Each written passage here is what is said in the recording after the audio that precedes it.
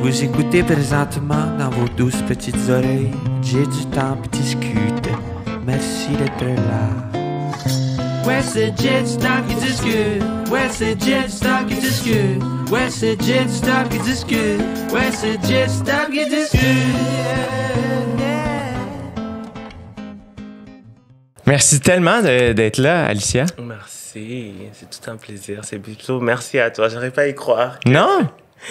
Tu sais, quelqu'un que tu vois tout le temps à la télévision, puis que comme tu n'aurais jamais imaginé que euh, les circonstances de la vie euh, fassent qu'on se rencontre puis qu'on soit assis euh, l'un à l'autre en face d'un plexiglas. C'est comme, c'est incroyable. I love your nail polish. Ah, merci, t'es gentil. Euh, shout out au manoir. Hein. Je, je suis pas capable de faire ça moi-même.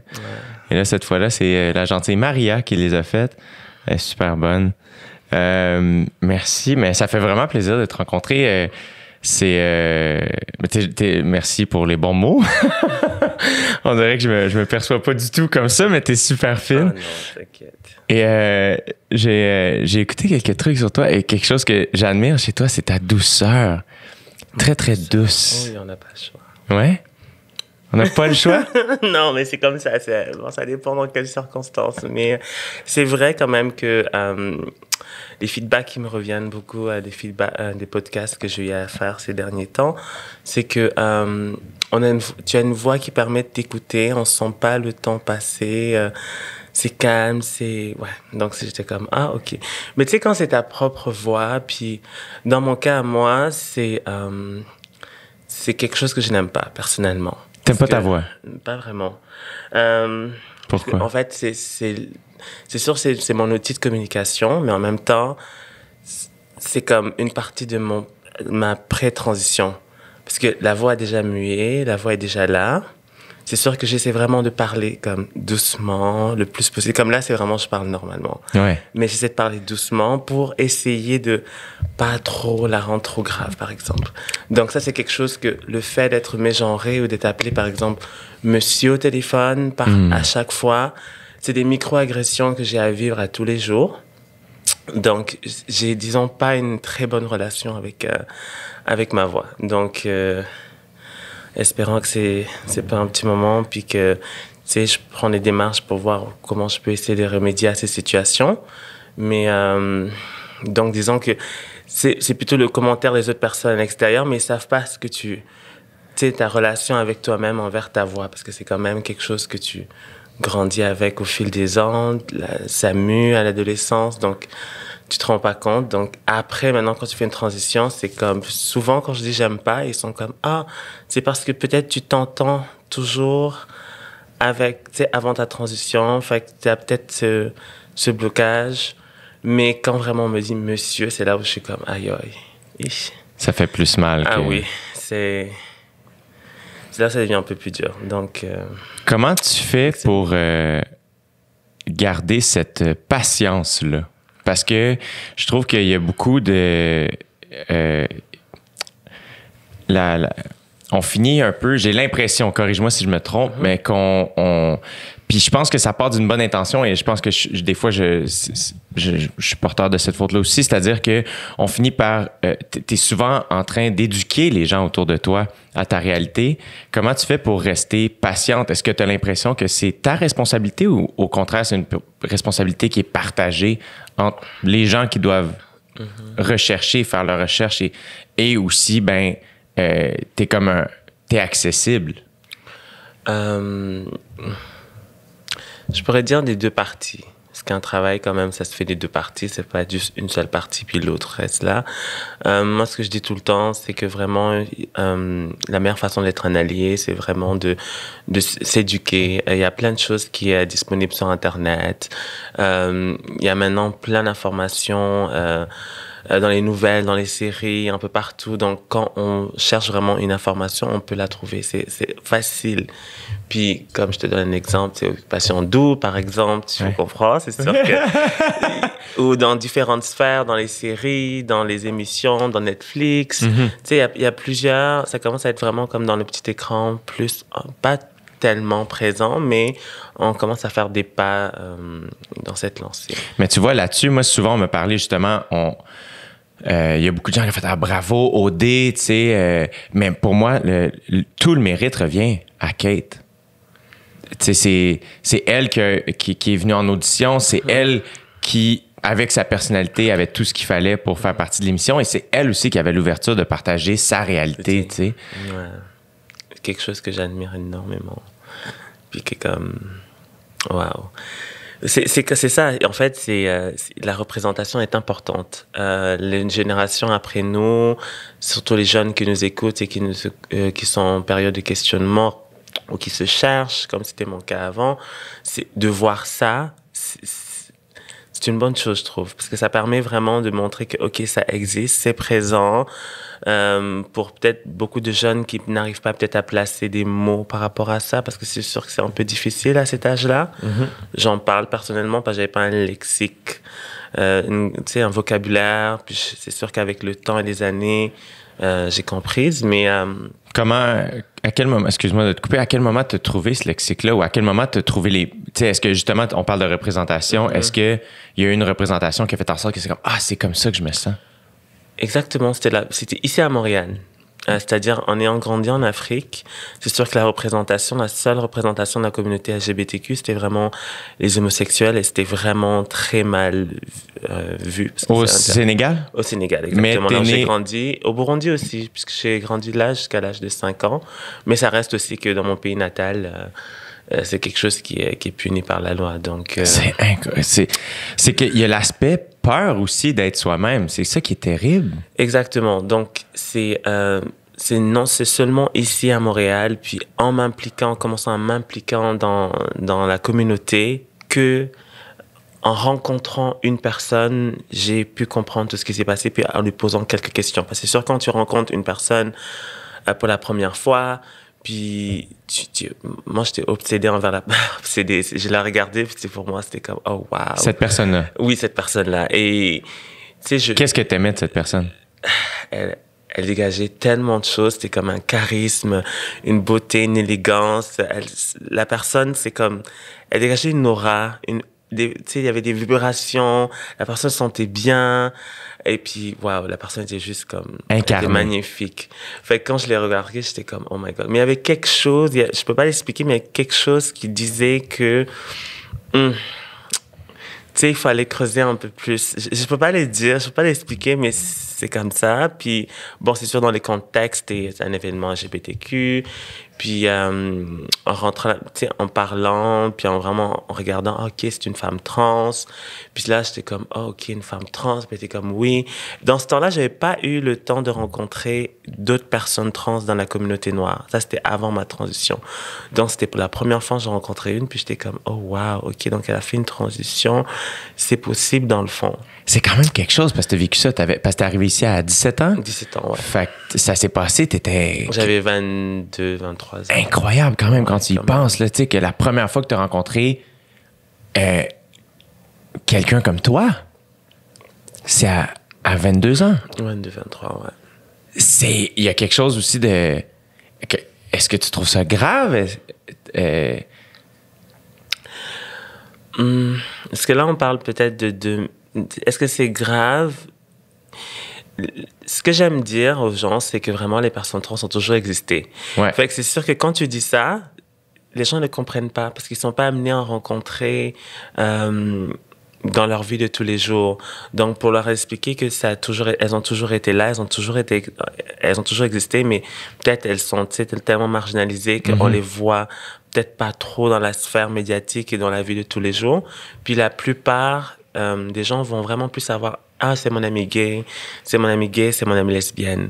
Mais c'était dans ce temps-là très rare d'avoir, ben moi j'étais très rare, j'étais impliqué dans le communautaire, mais j'en voyais pas trop tant que ça. Et euh, Rappelle-moi le nom de l'organisme. arc-en-ciel. Arc-en-ciel. Ouais. Puis euh, Qui n'existe plus aujourd'hui, malheureusement, plus mais qui, qui, qui pour toi a été un game changer dans ta oui, vie. Là. exactement, parce que euh, moi j'étais comme oh my god, je, je veux vraiment essayer de voir comment je peux m'impliquer, puis essayer de sensibiliser les gens, puis je pense qu'avec tout ce que j'avais vécu en Afrique, de pas avoir de représentation, puis la seule représentation c'était c'était vraiment comme offensante puisque c'était vraiment le, on montrait les personnes dans les journaux, on les mettait en prison, on faisait des, des arrestations dans des, dans des coins qui s'étaient réunis en eux à l'extérieur de la ville. Et généralement, tu voyais que c'était soit le, le, je peux dire le quartier ou le voisinage qui se suspectait. Parce généralement, quand c'est dans des endroits un peu reculés, ils se connaissent généralement entre eux. Donc, quand ils voient un genre d'activité ou de, de, de, soirée, c'est sûr que les gens sont, sont, curieux de savoir. Puis si, quand ils creusent un peu, ben, ils voient que euh, la plupart, c'était des soirées où les hommes se retrouvaient et euh, où généralement les gens avaient peut-être se sentaient peut-être, tu sais, vous pouvez pas faire une transition. Donc, ils étaient juste habillés en femme. Donc, c'est vraiment comme, c'était des travestis. Donc là, c'est sûr que dans ce temps-là, on les prenait, puis on les mettait dans le dans les différents journaux. Donc moi, quand j'allais chercher le, par exemple, le, j'avais l'habitude souvent pas en semaine, mais le week-end, de chercher euh, le journal et le ramener à mon père parce qu'il adore ça les journaux. Et à chaque fois que je voyais ça, je voyais différents euh, journaux, j'étais comme my God, my God. Tu sais, c'était des des micros, je voyais ça puis j'étais comme oh my God, ça aurait pu être moi. Ben, ça aurait pu être moi, mais tu sais, c'est comme, il faut que je fasse attention, faut pas que je, tu sais, je fasse des, des rencontres ou que des regroupements. C'est une peur. On vit dans une peur parce qu'on se dit, euh, tu sais, au fond de toi, tu sais ce que tu es, mais tu te dis, bon, parce que tu es un homme qui est attiré envers, envers d'autres hommes et tu comprends pas, donc tu te dis, bon, euh, ce que dit Google, c'est euh, une personne gay, homosexuelle. Donc c'est comme, ah, bon, c'est ça que je suis. Euh, je suis attiré vers les hommes, mais c'est là on comprend pas la différence entre le genre et l'orientation sexuelle, où on, on fait vraiment une séparation de comme il y a le genre masculin, féminin, puis il y a vraiment euh, l'orientation sexuelle, lesbienne, sais, hétérosexuelle, lesbienne. Donc c'est c'est là où, ben, c'est sûr, à 14 ans, 15 ans, tu peux, tu connais pas tout ça. Surtout parce que c'est relativement, en gros, il y a, a peut-être des gens en ce moment qui écoutent et que même pour eux, cette distinction-là est nouvelle, curieusement. En, oui, on peut dire ça comme ça, mais comme je te disais tantôt, c'est plus le côté homosexuel qui je sais pas pour il y a quelque chose que je beaucoup de gens me, me posent la question souvent c'est de savoir pourquoi par exemple les lesbiennes c'est pas tellement mal vu qu'autant les homosexuels. Parce qu'ils ils vont dire à deux femmes qui s'embrassent c'est beau tu sais c'est tripant ça peut être pour euh, tu sais ça les gars aiment ça tu sais, il y a tellement c'est moins ça blesse moins pour les mœurs, en fait, des gens que vraiment deux hommes, par exemple. Fait qu'il y a toujours eu ce problème-là euh, en Afrique. Puis, moi, j'ai grandi là, j'étais comme, OK, donc, euh, je, suis, homosexuel, je suis gay, donc... Et moi, ce que, ce que je trouve euh, incroyable, c'est là, parce que c'est quotidien. tu peux pas... c'est à tous les jours, tu sais, comme à chaque moment que tu es éveillé, mm-hmm. et probablement même dans tes rêves, en fait, assurément, tu es toi, tu sais, qui fait mm-hmm. en sorte que euh, c'est sans cesse dans ta psyché, dans ton, dans ton être, dans, ta, dans tes pensées, et de vivre dans une société où on te permet pas d'être toi-même, où tu as peur d'être toi-même. C'est euh, on parle plus de microagression, c'est effrayant, c'est mm-hmm. grave. Euh, et, comment te trouver cette force-là de faire attends, là, je dois trouver la lumière dans tout ça, je dois trouver un lieu où je, où je peux me permettre d'être moi-même? Euh, c'est là où je me sens vraiment privilégié d'être ici. Euh, je veux pas dire loin de tout ça, parce que c'est sûr que je continue à suivre l'actualité qui se passe en Afrique avec euh, mes consoeurs, mes confrères qui sont encore là-bas. Mais je, je, me considère vraiment chanceuse d'être ici parce que je, parfois je m'assois puis je me demande comment j'aurais fait euh, si j'aurais été là-bas encore de, de, survivre à tout ça. C'est sûr que j'aurais trouvé une façon, une autre de pouvoir, euh, tu sais, immigrer à l'Occident parce que je sais qu'en restant en Afrique, je n'aurais pas pu vivre euh, ma vie en toute authenticité. C'est sûr que j'aurais peut-être même pas entamé une transition parce que le système médical, ça n'existe pas.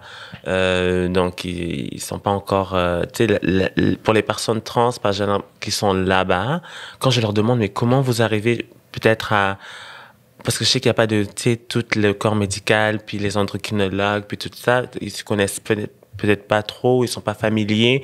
Et de toute façon, le code pénal, tu sais, criminalise ça. Donc, comment généralement ces personnes-là puissent euh, font pour avoir, euh, tu sais, généralement comme être bien dans leur corps, par exemple d'un homme qui veut transitionner à une femme, par exemple, euh, la, la, plupart du temps, soit elles, euh, elles utilisent par exemple les pilules contraceptives pour les femmes. Mm. Donc, pour pas tomber enceinte, c'est ce qu'elles prennent généralement pour, euh, comme oestrogène, par exemple, que moi, je vais prendre plus une injection, ça va être vraiment suivi par un endocrinologue. Là-bas, leur seule option, c'est vraiment prendre, par exemple, des pilules contraceptives. Euh, que les femmes cis, c'est-à-dire les femmes nées à la naissance, ouais. femmes nées femmes à la naissance, euh, prennent. Donc, c'est une forme pour elles de, de, prendre, mais ça ne donne pas les mêmes résultats. Donc, d'entendre ça, c'est encore plus incroyable parce que je me dis, my God, il faut penser à ça. Oui, il y, a, sûrement aussi des produits naturels que les gens prennent euh, pour les, les, gens qui ont qui veulent vraiment plus aller vers le côté plus naturel. Donc, ils vont utiliser des produits naturels, les plantes et tout pour euh, avoir, mais ça donne, c'est sûr que ça donne pas le même résultat. Peut-être d'après ce que j'entends, c'est que ça donne pas le même résultat ou ils ont pas un suivi médical, donc ils mm -hmm. savent pas où est-ce qu'ils s'en vont. Tu comprends? C'est fou de, de, de qu'en 2021, il y a encore des lieux où on puisse pas être soi-même. C'est, c'est, est-ce que encore, c'est pour ça que je parle souvent de force parce que il y a, il y a, il y a une, c'est incroyable de dire à quelqu'un, t'es encore aujourd'hui, t'es forte d'être toi-même, mais que c'est vraiment parce qu'il y a des instances qui, est, qui sont encore motivées par la peur. Euh, oui, et même ici, hein, c'est pas forcément que. Euh, je pense que même ici, euh, au Canada, au, moment que je te parle, où, les, les droits des personnes sont, sont protégés, au moins, ça reste que les gens ont vraiment euh, parfois peur de sortir euh, en dehors du placard ou de faire le coming out parce qu'ils ont peut-être ils ont ils ont trop à perdre Hmm. mmh. ils ont trop à perdre autour de, de eux puis c'est sûr qu'on regarde le côté culturel de tout ce qui vient le background euh, c'est déjà très mal vu avec la religion déjà à la base parce que ça, ça, prend une grande place dans la société. Donc même les gens quand ils viennent ici, ils viennent avec leur leur bagage, leur histoire, leur religion et tout. Donc c'est sûr qu'ici, même s'ils sont au Canada, ils ont ils sont peut-être obligés de, de, je vais pas dire faker, mais vraiment être dans une relation euh, avec une femme, alors que forcément c'est pas ça qu'ils qu sont, parce qu'ils ont trop, ils ont trop de choses à perdre, que ce soit le, leur travail, euh, les amis, euh, la famille. Donc généralement ces personnes-là, tellement elles elles, bon, elles voient qu'elles ont trop à perdre, donc elles préfèrent généralement vivre une vie, entre guillemets, hétéronormative. Alors que forcément, à l'intérieur, c'est pas... Et puis c'est triste, hein. Mais alors oui. que moi, j'ai choisi, je me suis dit, écoute, j'ai qu'une vie, on n'a qu'une vie à vivre. C'est, c'est pas un jeu vidéo où tu vas avoir une autre vie de plus, là. C'est pas, oh my god, game over, on reprend. non. C'est vraiment. Oui, c'est là, c'est maintenant. C'est là, là. C'est. Puis, j'ai eu vraiment à rencontrer euh, des personnes de la communauté, mais vraiment plus des personnes, des aînés, qui, euh, en parlant avec eux, ils m'ont dit comme quoi euh, ils admirent. C'est le commentaire généralement, plus en face, pas dans les réseaux, mais plus face à face. Ils disent, ils admirent le courage, puis que dans leur temps, c'était impossible ou difficile d'entamer une transition. On aurait vu ça, comme une maladie mentale. Puis, tous les processus qu'ils ont nous expliquer qui font que ces personnes du 3, je dis pas du troisième âge, c'est les personnes âgées, ouais. euh, disent que dans leur temps, c'était, c'était impossible. Mm. C'était vraiment pas tout le monde. Et même, euh, ça c'est pour les personnes trans, mais même si on regarde les personnes, homosexuelles et tout, c'est difficile. Donc, les gens vivaient une vie, tu sais, un peu comme cachée, rangée. Euh, et, et c'est triste. Donc, même ici au Canada, même s'il y a des, tu sais, il y a toutes les lois qui protègent et tout, ça reste que ça, ça prend, c'est, c'est, c'est, si on le veut vraiment, puis ça encourage.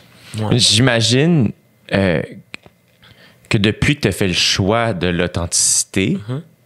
j'imagine que tu es incapable de, de faire autrement. Tu sais, t'es rentré ici, puis j'ai fait, ah, comment ça va? Ça va correct. C'est une journée difficile. Et c'est pas du chiolage, c'est de l'authenticité. Oui. Et, euh, et c'est fort parce que c'est c'est un moi c'est mon langage favori. C'est ce à quoi j'aspire le plus. Mm-hmm. et j'imagine que pour toi c'est rendu euh, primordial. T'es es, incapable de faire autrement j'imagine c'est sûr qu'il y a des journées où je suis, euh, où j'ai plus de force que, que d'autres. C'est comme tout le monde. Je suis pas, euh, euh hum. surhumaine. Donc, euh, je suis comme tout le monde. J'ai des émotions. Il y a des journées où ça va plus que d'autres. Mais je pense que ça va beaucoup mieux depuis que j'ai vraiment décidé, comme tu, tu l'as dit, de vivre ma vie en toute authenticité. Certes, ce n'est pas facile. parce que c'est sûr que je suis amenée à, à vivre plusieurs oppression euh, de différentes formes, mais euh, ça reste que moi, dans ma personne, euh, de vivre ma vie tous les jours, ça, c'est la plus belle chose en fait qu'on peut, c'est le plus beau cadeau qu'on peut se donner à soi-même. Absolument. Et t'es arrivé ici seul? Oui. C'est ce qui est. Ben, seul, c'est sûr, avec l'aide, avec l'aide quand même de, de, de, mon père, mais euh, oui, quand même. Tu as immigré ici en premier? Oui, j'ai immigré ici en première euh, avec lui. avec ton père? Avec mon père, juste en vacances, en, repérage pour voir un peu euh, comment c'est le Canada. Parce que c'est sûr qu'on n'était jamais venu. Donc, on est venu ici en, à Pâques. puis après, moi, j'ai décidé de rester un an. Puis après ça, je suis reparti. Puis je suis revenu en 2007. Et puis là, quand je suis revenu en 2007, c'est toujours moi-même. Donc, euh, donc voilà. Puis, euh, c'est mon père euh, avec sa femme, ils sont toujours en Afrique. voilà, donc. Est-ce que quand tu es partie toute seule, est-ce que. Tu sais, je veux c'est quelque chose, là, qui. Est-ce que pour toi, c'était. parce que tu disais tantôt, tu te trouves chanceuse d'être ici. Mm-hmm. Est-ce qu'à ce moment-là, pour toi, c'était un, un, sentiment, entre gros guillemets, d'arriver à la maison? De, de, de, quitter, mais tu quittes quand même tes racines. Oui. Fait que c'est des mixed feelings, j'imagine? C'est des mixed feelings, euh, effectivement. Euh, parce que c'est sûr que c'est. Tu, ben c'est sûr que tu sais que tu pars, mais que arriver là-bas, tu, tu auras certes moins de peur de, de vraiment être vrai parce que tu sais que, OK, c'est légalisé, c'est correct.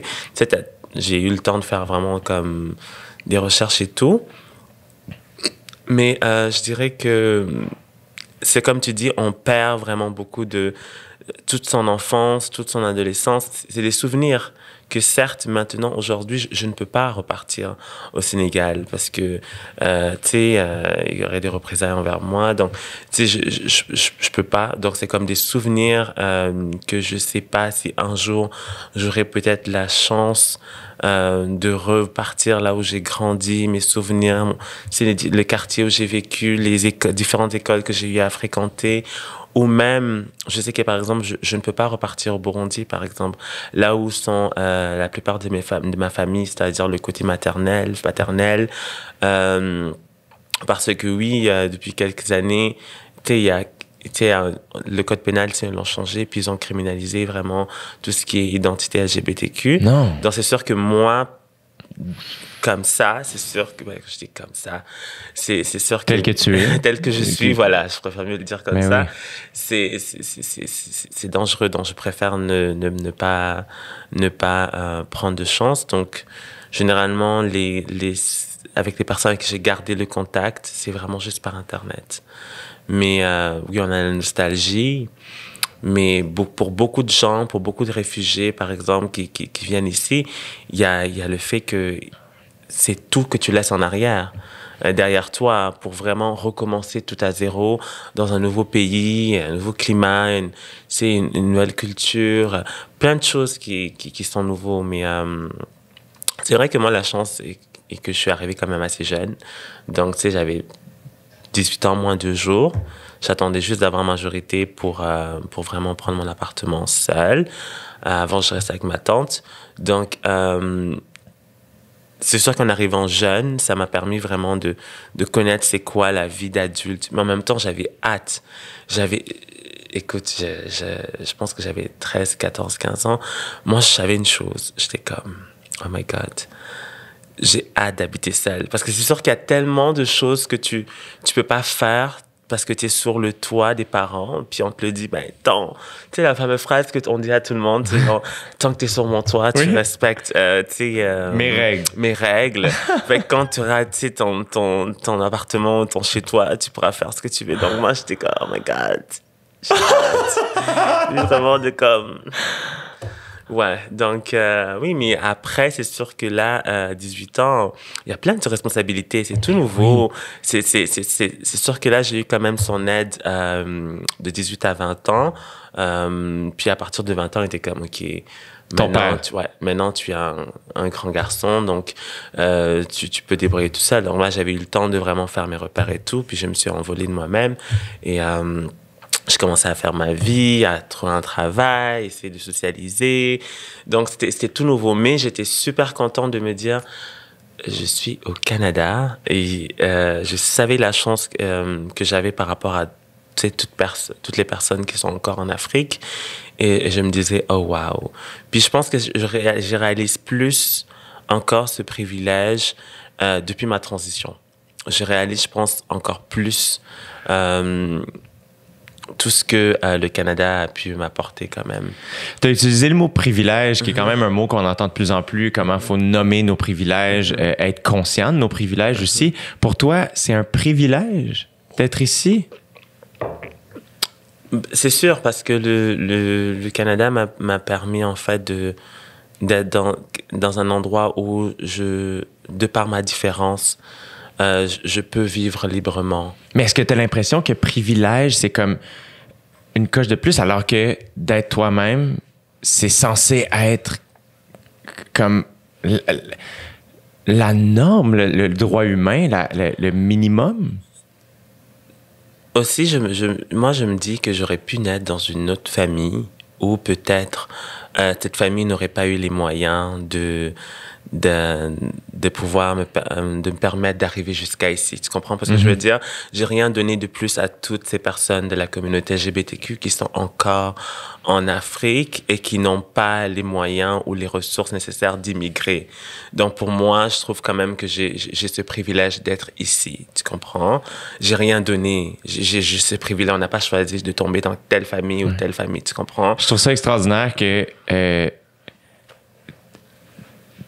tu, euh, malgré toutes les embûches que tu peux encore rencontrer dans ta vie aujourd'hui, malgré toutes les micro-agressions que tu peux vivre à tous les jours, la, encore une fois, tu as la force que tellement de personnes n'ont pas de nommer ton privilège. Encore une fois, j'ai l'impression que je suis comme, oh mon Dieu, mais quelle force! Merci. Mais c'est vrai, tu sais, c'est- c'est tellement euh, pas si difficile que ça, mettons, de nommer son privilège. Puis j'ai l'impression que euh, t'es pas la t'es pas la plus privilégiée et tu trouves quand même ton privilège dans tout ça et c'est vraiment extraordinaire. J'essaie de voir toujours le côté euh, positif de la chose. Je suis une personne quand même, disons, euh, optimiste. De peut-être mon signe astrologique, peut-être. C'est quoi ton signe astrologique? Un Sagittaire. Est-ce que tu. euh, euh, Explique-moi, les Sagittaires sont comment? Oh. Alors, c'est un signe de feu. Euh, nous sommes euh, des personnes qui sont même euh, optimistes de nature. C'est quand même c'est quelque chose qui m'est revenu comme souvent. Puis en regardant vraiment, j'essaie toujours de, côté, de trouver le côté positif de la chose. Euh, nous sommes des personnes qui adorons l'aventure.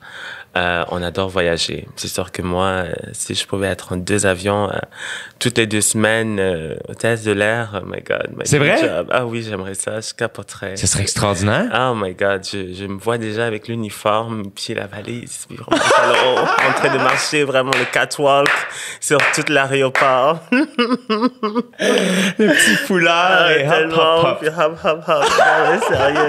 Puis passer tout le monde, parce que, tu sais, moi, je travaille à l'aéroport, puis passer mon badge. Ah, mon Dieu, je... Ah, parfois j'y pense, mais je suis comme, my gosh. Anyways. Mais... euh, Est-ce que tu penses aller suivre ton cours, possiblement? euh, C'est sûr que là, dans le contexte, là, on parlera pas de COVID nécessairement, là, mais là, c'est un peu complexe. mais C'est sûr que même si j'arrive, je, je dirais à tout le monde qui nous écoute que si vous avez un rêve, essayez de, de le poursuivre. N'abandonnez pas malgré, euh, surtout, euh, des embûches qu'ils peuvent avoir. Je sais pas, je laisse vraiment euh, l'avenir euh, le dire, mais j'essaie vraiment de parfois comme tu sais manifester où je suis comme quand je manifeste, je, je regarde par exemple le- les voyages, je me dis ok si je, je, suis pas hôtesse de l'air par exemple, euh, moi j'aimerais ça voyager, que peu importe. Là, en plus, je pense qu'il faut dire agent de bord maintenant. Agent de bord, oui, c'est ça, agent de bord. Ah, je savais pas. Je pense, je pense. là, je- non, mais, je oui, suis pas sûr sûr. pour pas pour pas essayer de faire de. Je suis pas certain, mais me semble. le- Sûrement. Mais je te, je, te, je, te, je te souhaite que ça, que ça arrive. Ou peut-être pas, mais si, si ça arrive pas, c'est sûr que je vais trouver tous les moyens possibles. Moi, quand j'ai un moment pour voyager, je m'en vais, je voyage. Donc, ça, c'est un autre privilège que j'ai, euh, vraiment de d'être sur un territoire qui, vraiment, avec le passeport, m'a permis vraiment de voyager un peu partout. Ça, c'est un autre privilège, vraiment, que, que je reconnais parce que c'est sûr que... euh, par rapport à mon passeport peut-être du Burundi, à, à chaque fois que je voudrais peut-être voyager, euh, je, il y aurait peut-être toujours des demandes de visa que peut-être avec le passeport canadien, je n'ai pas. Donc, ça m'a permis vraiment d'aller dans des pays que j'aurais jamais imaginé, comme par exemple, j'ai été en Grèce, tu as été en Grèce. Oui. Ouais.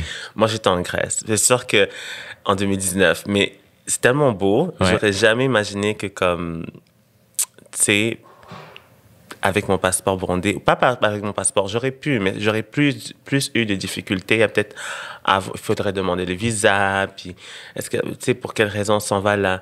Mais euh, un autre privilège, que là où j'ai réalisé vraiment le, le grand, grand, grand privilège, c'était pour moi en 2019, parce qu'il y a plein de choses qui s'est passé en 2019, c'était vraiment de changer mon nom, mon prénom et mon mention de genre euh, au directeur de l'État civil du Québec. Ça s'est passé en 2019. Ça s'est passé en 2019.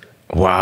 C'est là où vraiment j'ai j'ai euh, je réalise c'est un bonheur. Tu sais quand tu reçois la lettre avec tu sais le gros tampon puis vraiment directeur d'état civil puis on dit tu sais ton telle personne née à tel endroit habitant à telle adresse nous accordons tu sais le le changement. C'est pour moi c'était c'est c'est c'est un des c'était highlights de toute ma vie. Je pense pas qu'il y aura quelque chose qui qui va peut-être dépasser ça parce que c'était vraiment enfin pas officieusement mais officiellement euh, je pouvais vraiment réclamer, euh, vraiment comme je le veux sur les papiers partout, que c'est Alicia, puis that's it. Tu Oui. comprends?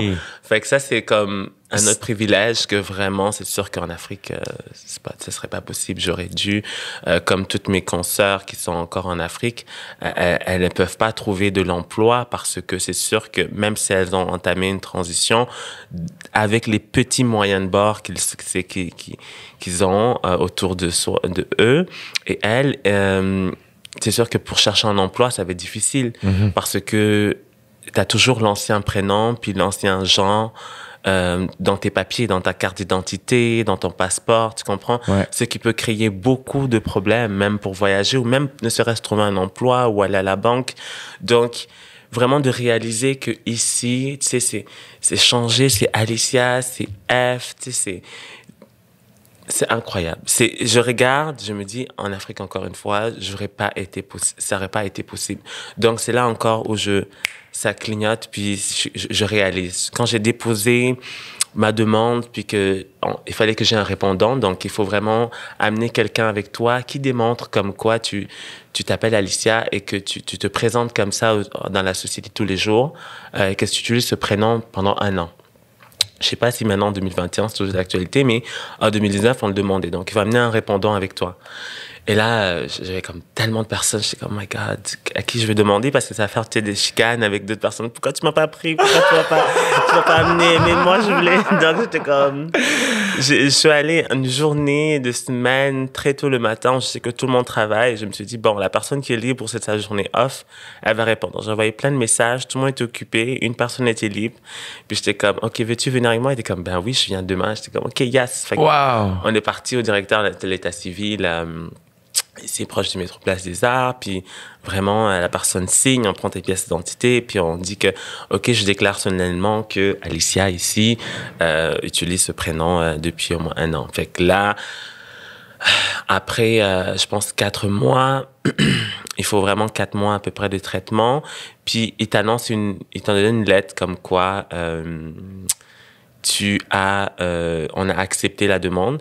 Puis le truc que j'aime vraiment pas, puis que j'espère un jour qu'ils vont changer, il y a cet espace de 30 jours qui donne en fait aux gens de, euh, de comment je vais dire le mot? S'opposer. Voilà je cherchais le mot dans le vocabulaire. Donc ils ont 30 jours ben oui ça c'est ça ça m'a enragé.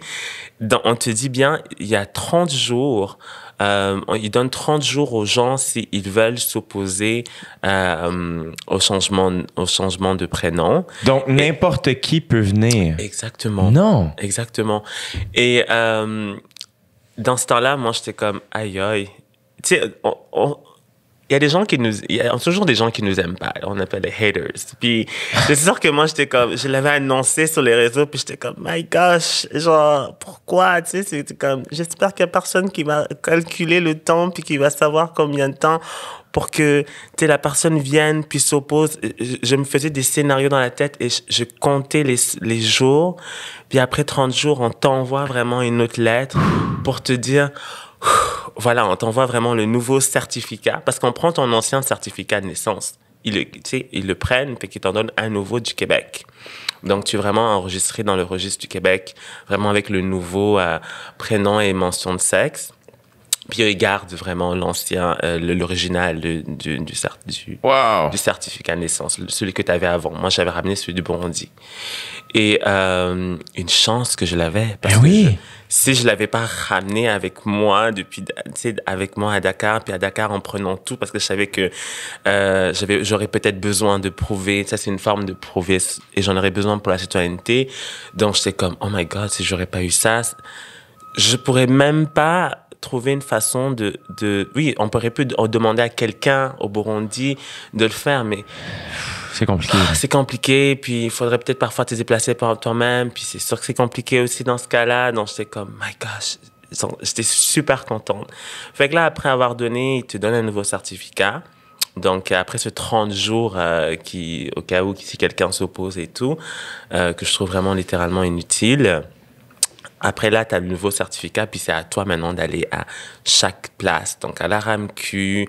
Euh, voilà. Et donc, pour les personnes peut-être qui, qui sont nées ici, ou les personnes qui sont venues à, à très bas âge, puis qui ont grandi ici, ils connaîtront pas ces mêmes réalités ou ces mêmes difficultés qu'une personne migrante qui vient de très loin dans son pays d'origine. oui. Donc, euh, ça, c'est un autre privilège quand je l'ai eu, puis que dans la vie de tous les jours, c'est des micro-agressions parce que dans tout ce qui est médical, les rendez-vous, le gouvernement, tu sais, t'es assise là, dans une pièce, puis on dit, Monsieur tel, s'il vous plaît. Donc, oh, et là, tu te lèves, puis t'as comme tout le monde, puis on vient de dire monsieur. Fait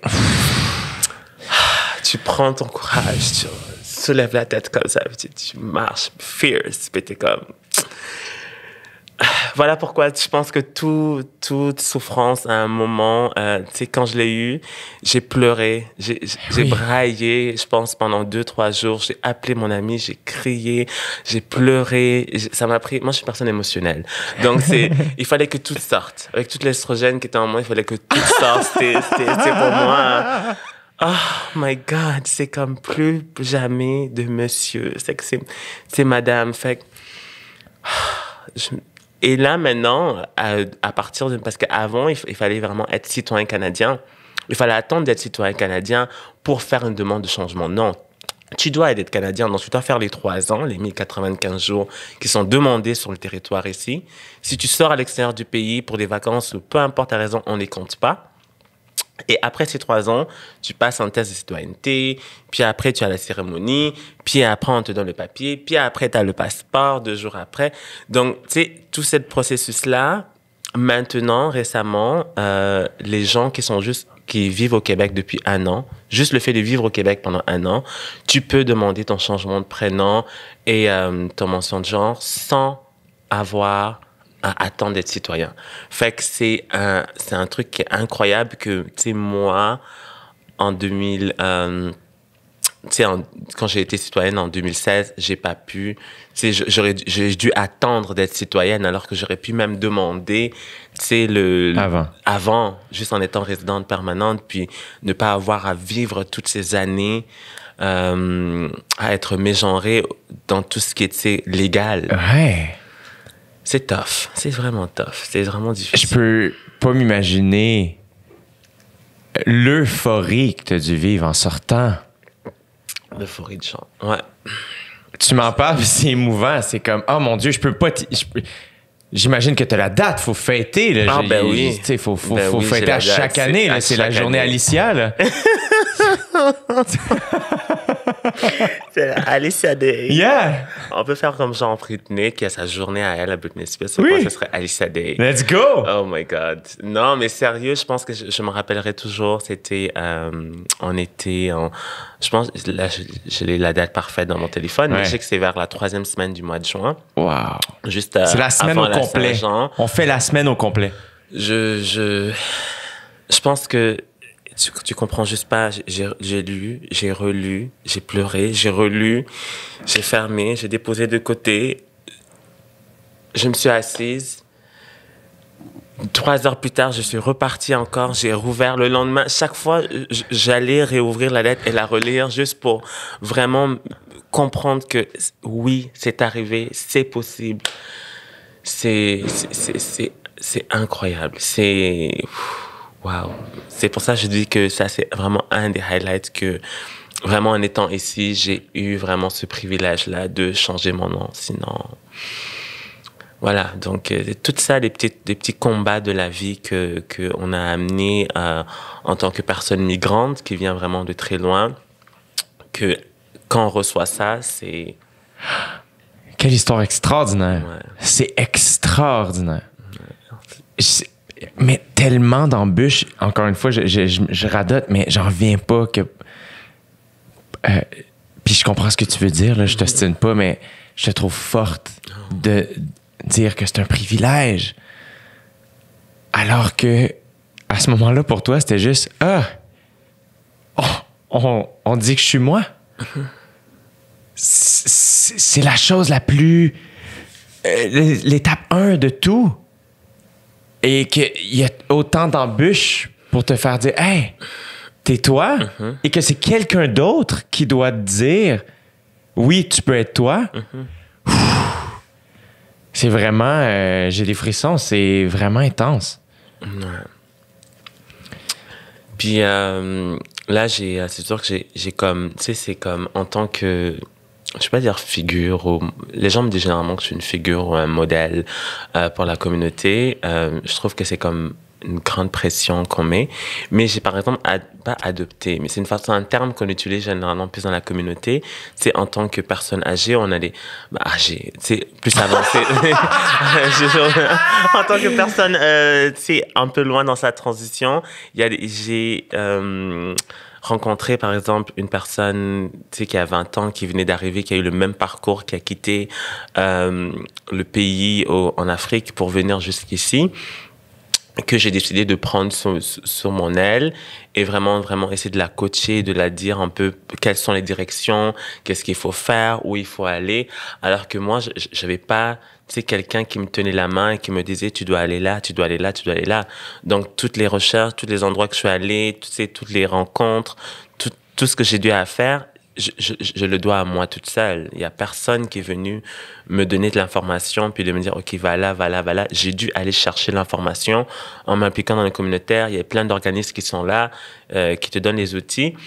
Euh, mais tu sais, en 2015, c'est pas autant, euh, c'était pas autant que peut-être maintenant, en 2021.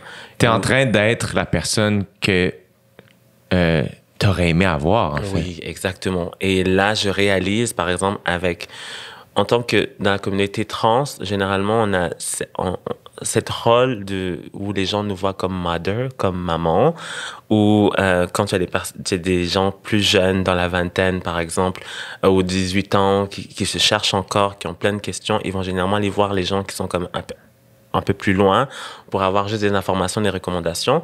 Donc moi, j'ai eu à apprendre, je peux dire, sous mon aile, euh, ma fille, qui, entre guillemets, qui s'appelle Maria, que euh, je, je, j'éduque et que je lui dis, OK, voici les étapes, il faut que tu fasses ça, que tu fasses ça, pour changer ton nom, c'est comme ça, c'est ci, c'est ça.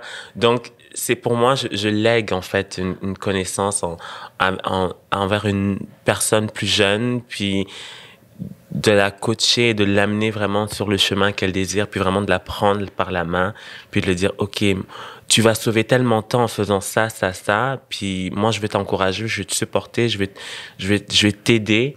Donc, c'est, c'est, c'est, c'est incroyable. Puis parfois, elle était comme, oh my god, je suis tellement contente d'avoir rencontré. Puis moi, je, je, parfois, je m'assois, je suis comme, j'ai pas eu quelqu'un comme, comme moi, Mais euh, voilà pourquoi je suis très contente à chaque fois de toutes les petites victoires que je réalise parce que je ne le dois qu'à moi. C'est extraordinaire. Puis absolument. Puis euh, c'est important aussi que je trouve ça cool que tu sois capable de le nommer. Mhm. C'est pas. Euh, des, des, fois, ça finit par. Là, c'est pas de. Ah, c'est. C'est important de faire. Hey, ça, ça me revient.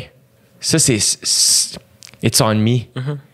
Puis en plus que c'est un combat pour être toi et que c'est toi qui l'as mené par toi-même. Puis ce qui est extra, j'adore le terme mother, mère, parce que après ça, c'est ça, une mère, c'est une mère, ça te permet d'être toi, ça te met au monde. Et c'est un peu ce que tu fais avec Maria. Et c'est ce que tu n'as pas nécessairement eu ici. C'est quelqu'un qui t'accompagne dans ce cheminement-là pour être toi. Je trouve que le, l'analogie est bonne, le, mot est, est, magnifique et ça fonctionne pour moi. Merci. C'est cool. C'est surtout que, euh, genre, tu sais, puisqu'elle connaît quand même ma vie, j'essaie de l'expliquer, j'essaie de connaître aussi sa, son background, d'où elle vient. Et, euh, tu sais, comme elle a grandi en Afrique de l'Ouest aussi, euh, puisqu'elle vraiment elle est musulmane, elle a vraiment plus d'autres réalités et barrières que je, que je comprends parce que moi j'ai vécu au Sénégal. Euh, mais euh, c'est là où je remarque que comme pour ces gens-là aussi, ça demande beaucoup de force parce que tu, tu laisses tout en arrière. Je, me suis reconnu en fait en, en, elle euh, vraiment, euh, vraiment à la vingtaine et je me suis dit, je vais te donner vraiment tout le soutien et comment t'intégrer, par où passer. Et, euh, c'est nice. C'est tous des trucs comme ça qu'il faut, il faut éduquer, il faut sensibiliser, il faut être présente, il faut, ouais. Donc si on peut redonner à la communauté, je le donne vraiment vraiment à large échelle, à large échelle, tu sais, dans mes conférences, ou vraiment dans mes podcasts ou partout où je me déplace. Mais ça permet, je pense, avec les feedbacks que j'ai, de voir que, ah, ils ont appris telle affaire, ils ont appris telle chose, ils savaient pas que c'était comme ça. Puis voilà pourquoi, c'est des personnes comme toi qui donnent vraiment une certaine place afin qu'on puisse faire entendre notre voix et nos réalités, c'est très important. Mais justement, tu as des conférences. Mm-hmm. Est-ce que, est-ce que tu aimes faire ça? Oui, c'est sûr que c'est toujours des c'est toujours à propos de la, trans, de la transidentité, on s'entend, mais euh, pour moi, je me dis tout le temps à chaque fois que je j'ai toujours des personnes que je peux aller éduquer ou sensibiliser. Euh, je vais pas dire que je vais le faire éternellement, certes, mais euh, tant que j'ai encore la force, puis vraiment euh, que je, je, suis capable de le faire, tu sais, je vais le faire. Fait que, ouais. comment comment t'as commencé? Wow. Alors, moi, j'ai commencé, c'était. C'était grâce à un ami de la communauté qui avait normalement une, une présentation à faire au Nouveau-Brunswick. Et à ce moment-là, la personne était comme, OK, wow, il faudrait aller parler. Il cherche une personne pour aller parler des réalités de la communauté euh, noire, LGBTQ, mais vraiment, ça, ça c'était au Nouveau-Brunswick, c'était à Moncton.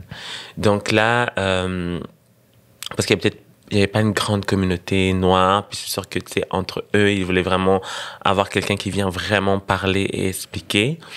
Et dans ce temps-là, j'étais vraiment impliqué dans la dans, l'organisme.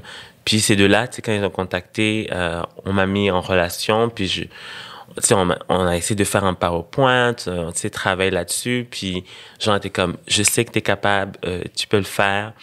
Donc, euh, l'organisme vraiment, moi je suis tellement pas bonne avec les noms, mais euh, l'organisme vraiment de Nouveau-Brunswick vraiment m'a contacté, puis ils ont comme payé l'avion, le, le- la journée, je pense, à l'hôtel, puis pour, venir vraiment expliquer dans, un, dans une salle. Puis j'avais eu, euh, je pense, dernière journée avant de prendre mon vol pour en aller là, euh, avoir la chance de faire une entrevue radio live euh, avec Radio-Canada, CBC, Radio-Canada de Moncton. Ouais. Donc, T'étais-tu nerveux? ah, mais mon Dieu, c'était la première fois que je passais à la radio en live. Non, mais tu sais, c'est sûr que là, tu sais, c'est comme, c'est après enregistré, puis après on peut faire l'editing, on peut couper, on peut prendre certaines parties. Euh, mais là, c'était comme, OK, c'est live, sans radio. Euh, Il y a tout le Nouveau-Brunswick qui m'écoute. Comme je, tu sais, je- je- j'avais peur de peut-être avoir des questions parce que tu, tu sais pas, on, on te dit un peu rapidement par courriel ce qu'on va peut-être aborder, mais on peut avoir une question, tu sais, de, de l'auditoire ou Mhm. vraiment une question de la personne qui nous, qui nous interviewe. Et euh, j'étais comme, my God, j'avais jamais fait ça. Puis il n'y a pas de cours euh, vraiment pour Mais faire. J'ai quitté de là.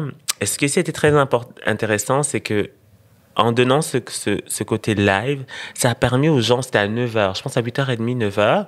Puis moi, je donnais ma présentation à midi, midi Le lendemain. 30. Non, la Ah, même la journée. même journée. Midi Ah, 30 mon à Dieu. 14h30. Oh mon Dieu. Et il y a eu des gens qui, en m'écoutant vraiment Radio-Canada, là, tu sais, on- sont venus, ont Oui. fait le déplacement, puis sont venus assister, en fait, à... Wow! Fait que c'était juste comme, oh my God, c'est comme genre, c'est incroyable. Je fais fait- déplacer les foules! tu sais, c'est comme. fait que, ouais, j'étais comme, waouh. Euh, puis c'est- puis c'est, je pense que c'est là où ça a commencé. Puis je pense que je pense que quand tu fais. C'est tout relié dans le truc communautaire. Tu sais, les organismes sont tous reliés, ils gardent tous contact. Donc je pense que quand ils voient quelqu'un vraiment aller parler. euh, au Nouveau-Brunswick, quelqu'un qui habite à Montréal. C'est là où vraiment après, je pense que euh, Ottawa, euh, a entendu parler de moi, puis ils m'ont contacté. J'ai eu, le temps de rencontrer quelqu'un. Euh, dans, dans- il y a des conférences qui se donnent une fois par année. Euh, donc, en rencontrant quelqu'un, tu ils ont regardé contact, puis t'es comme, ah, j'aimerais ça vraiment que tu viennes à tel panel qu'on va euh, organiser. On aimerait vraiment que tu apportes vraiment l'aspect euh, des réalités des personnes migrantes, LGBTQ. Euh, donc, je suis partie là. Puis après, tu sais, c'est sûr que quelqu'un qui se trouve là ou quelqu'un qui a assisté a vraiment aimé ta présentation, puis il va essayer de prendre contact. Fait que de fil en aiguille, euh, c'est parti comme ça. Donc, c'est vraiment un genre de réseautage où quand les gens ont aimé, puis ça adonne que c'est à ce sujet qui, euh, qui est abordé, ben à ce moment-là, ils, euh, ils font contact avec moi. Donc, c'est comme ça, petit à petit, que tout a commencé. Ouais. Incroyable. Ouais. Incroyable. Et, et tu et toi, tu euh, est-ce que pour toi, c'est parler un peu aussi de parce que c'est quand même intime. Euh, est-ce que tu réussis à mettre une ligne entre ton jardin secret euh, et ce que tu ce que tu souhaites aborder dans tes conférences, dans les entrevues? Parce que c'est quand même c'est quand même privé un peu. Oui, mais je connais toujours, j'ai ma limite. Ouais. Je sais toujours euh, la ligne à ne pas dépasser. Et euh, c'est sûr qu'on est là, par exemple, on, on- on est là pour éduquer, pour sensibiliser. Donc, c'est sûr qu'on a, généralement, dans ces genres de panels, on a des questions, des, on a des sujets qu'on va aborder, on a déjà fait nos points, qu'on va, mais c'est sûr qu'à un moment, il y a peut-être des questions qui, qui adonnent. Dans certains panels, ils vont généralement plus nous dire, OK, quelles sont les questions, par exemple, à, à ne pas poser? Donc, vraiment pour que euh, les, les modérateurs ou les animateurs, peut-être qu'ils sont peut-être pas trop sensibilisés sur le sujet, savent déjà. Euh, moi, généralement, quand je- on me pose une question, il y a des personnes qui sont à l'aise d'en parler. Moi, je me dis, je parle pour ma personne, puis Voilà. pour les personnes qui sont de mon côté, de mon point de vue, pour dire, ah, par exemple, ça, c'est une question généralement qu'on ne devrait pas poser. Voilà. Puis la personne sait, elle est éduquée sur le sujet, puis on, on- on esquive et on passe à autre chose. Donc, je pense, j'ai une façon, je pourrais dire, de, de, de, de dire à la personne qui est mon interlocuteur, celui qui est en face de moi, sans vraiment que la personne soit blessée, mais vraiment comprenne que c'est à titre pédagogique. Parce que c'est sûr, si à un moment donné, tu me poses une question que je ne souhaite pas répondre, je te regarde dans les yeux, puis je, je- je vais te dire, ah, généralement, il y a des gens qui aiment répondre, mais je préfère ne pas répondre ou c'est une question où certaines personnes ne préfèrent pas répondre Ouais. ou il faudrait laisser la personne entamer le sujet. Donc, et là, la personne comprend. Donc, euh, tout comme on dit, le ton fait la chanson. Donc, il faut juste trouver une façon subtile de te le dire sans froisser. Parce qu'il y a des gens qui sont curieux qui veulent juste apprendre et qui ne savent pas a certaines questions ne pas poser. Ouais. Mais c'est juste, il y a une manière, une subtilité de dire euh, la chose en disant comme quoi, ah, euh, cette question ne se pose pas. Encore par une- exemple, le dead name qu'on appelle le nom qui était attribué à la naissance, ça c'est une question généralement quand les gens me demandent ah mais c'est quoi ton prénom avant? Ça c'est un exemple que je dis ah c'est une question généralement qu'on pose pas. C'est Voilà. Alicia ça a été changé et tu me prends comme Alicia. Et euh, je pense que même dans la dans la vie de tous les jours je je- j'essaye de ne même pas donner même si les gens c'est sûr qu'ils ils voient ou ils l'entendent ou ils s'en doutent ou peut-être les gens ne sont pas n'ont jamais été amenés à croiser une personne trans et à vraiment peut-être en croiser avec moi. Euh, généralement je vais même pas leur donner ce si on est là pour un, un cadre bien précis, je vais vraiment être là pour ce cadre-là, puis ne pas donner même la chance à d'autres personnes de... Tu sais, on est dans un party, je veux, je veux, je vais pas, je vais pas rester là, puis dans une soirée, puis vraiment répondre à tes questions. Je veux juste te montrer qu'on est là pour passer un bon moment Voilà. mais je suis pas c'est c'est pas le cadre ni l'endroit euh, que ce soit aussi dans le au travail aussi c'est je donne pas la chance c'est comme ok c'est Alicia puis vous prenez ça comme ça puis c'est tout puis ça puis même les pap- ma chance à moi c'est que mes papiers euh, sont changés mais Voilà. je n'ose imaginer avant ou même en ayant commencé la transition puis en essayant de trouver un emploi je devais envoyer sur le CV mon dead name. C'est mon nom parce que c'est sûr que ta pièce d'identité, tu sais, à un moment, tu. Donc, Ouais. généralement, les gens, ils savent pas trop euh, quand est-ce que je le dis, est-ce que je dois le dire euh, à la personne qui se trouve en face de moi en entrevue ou.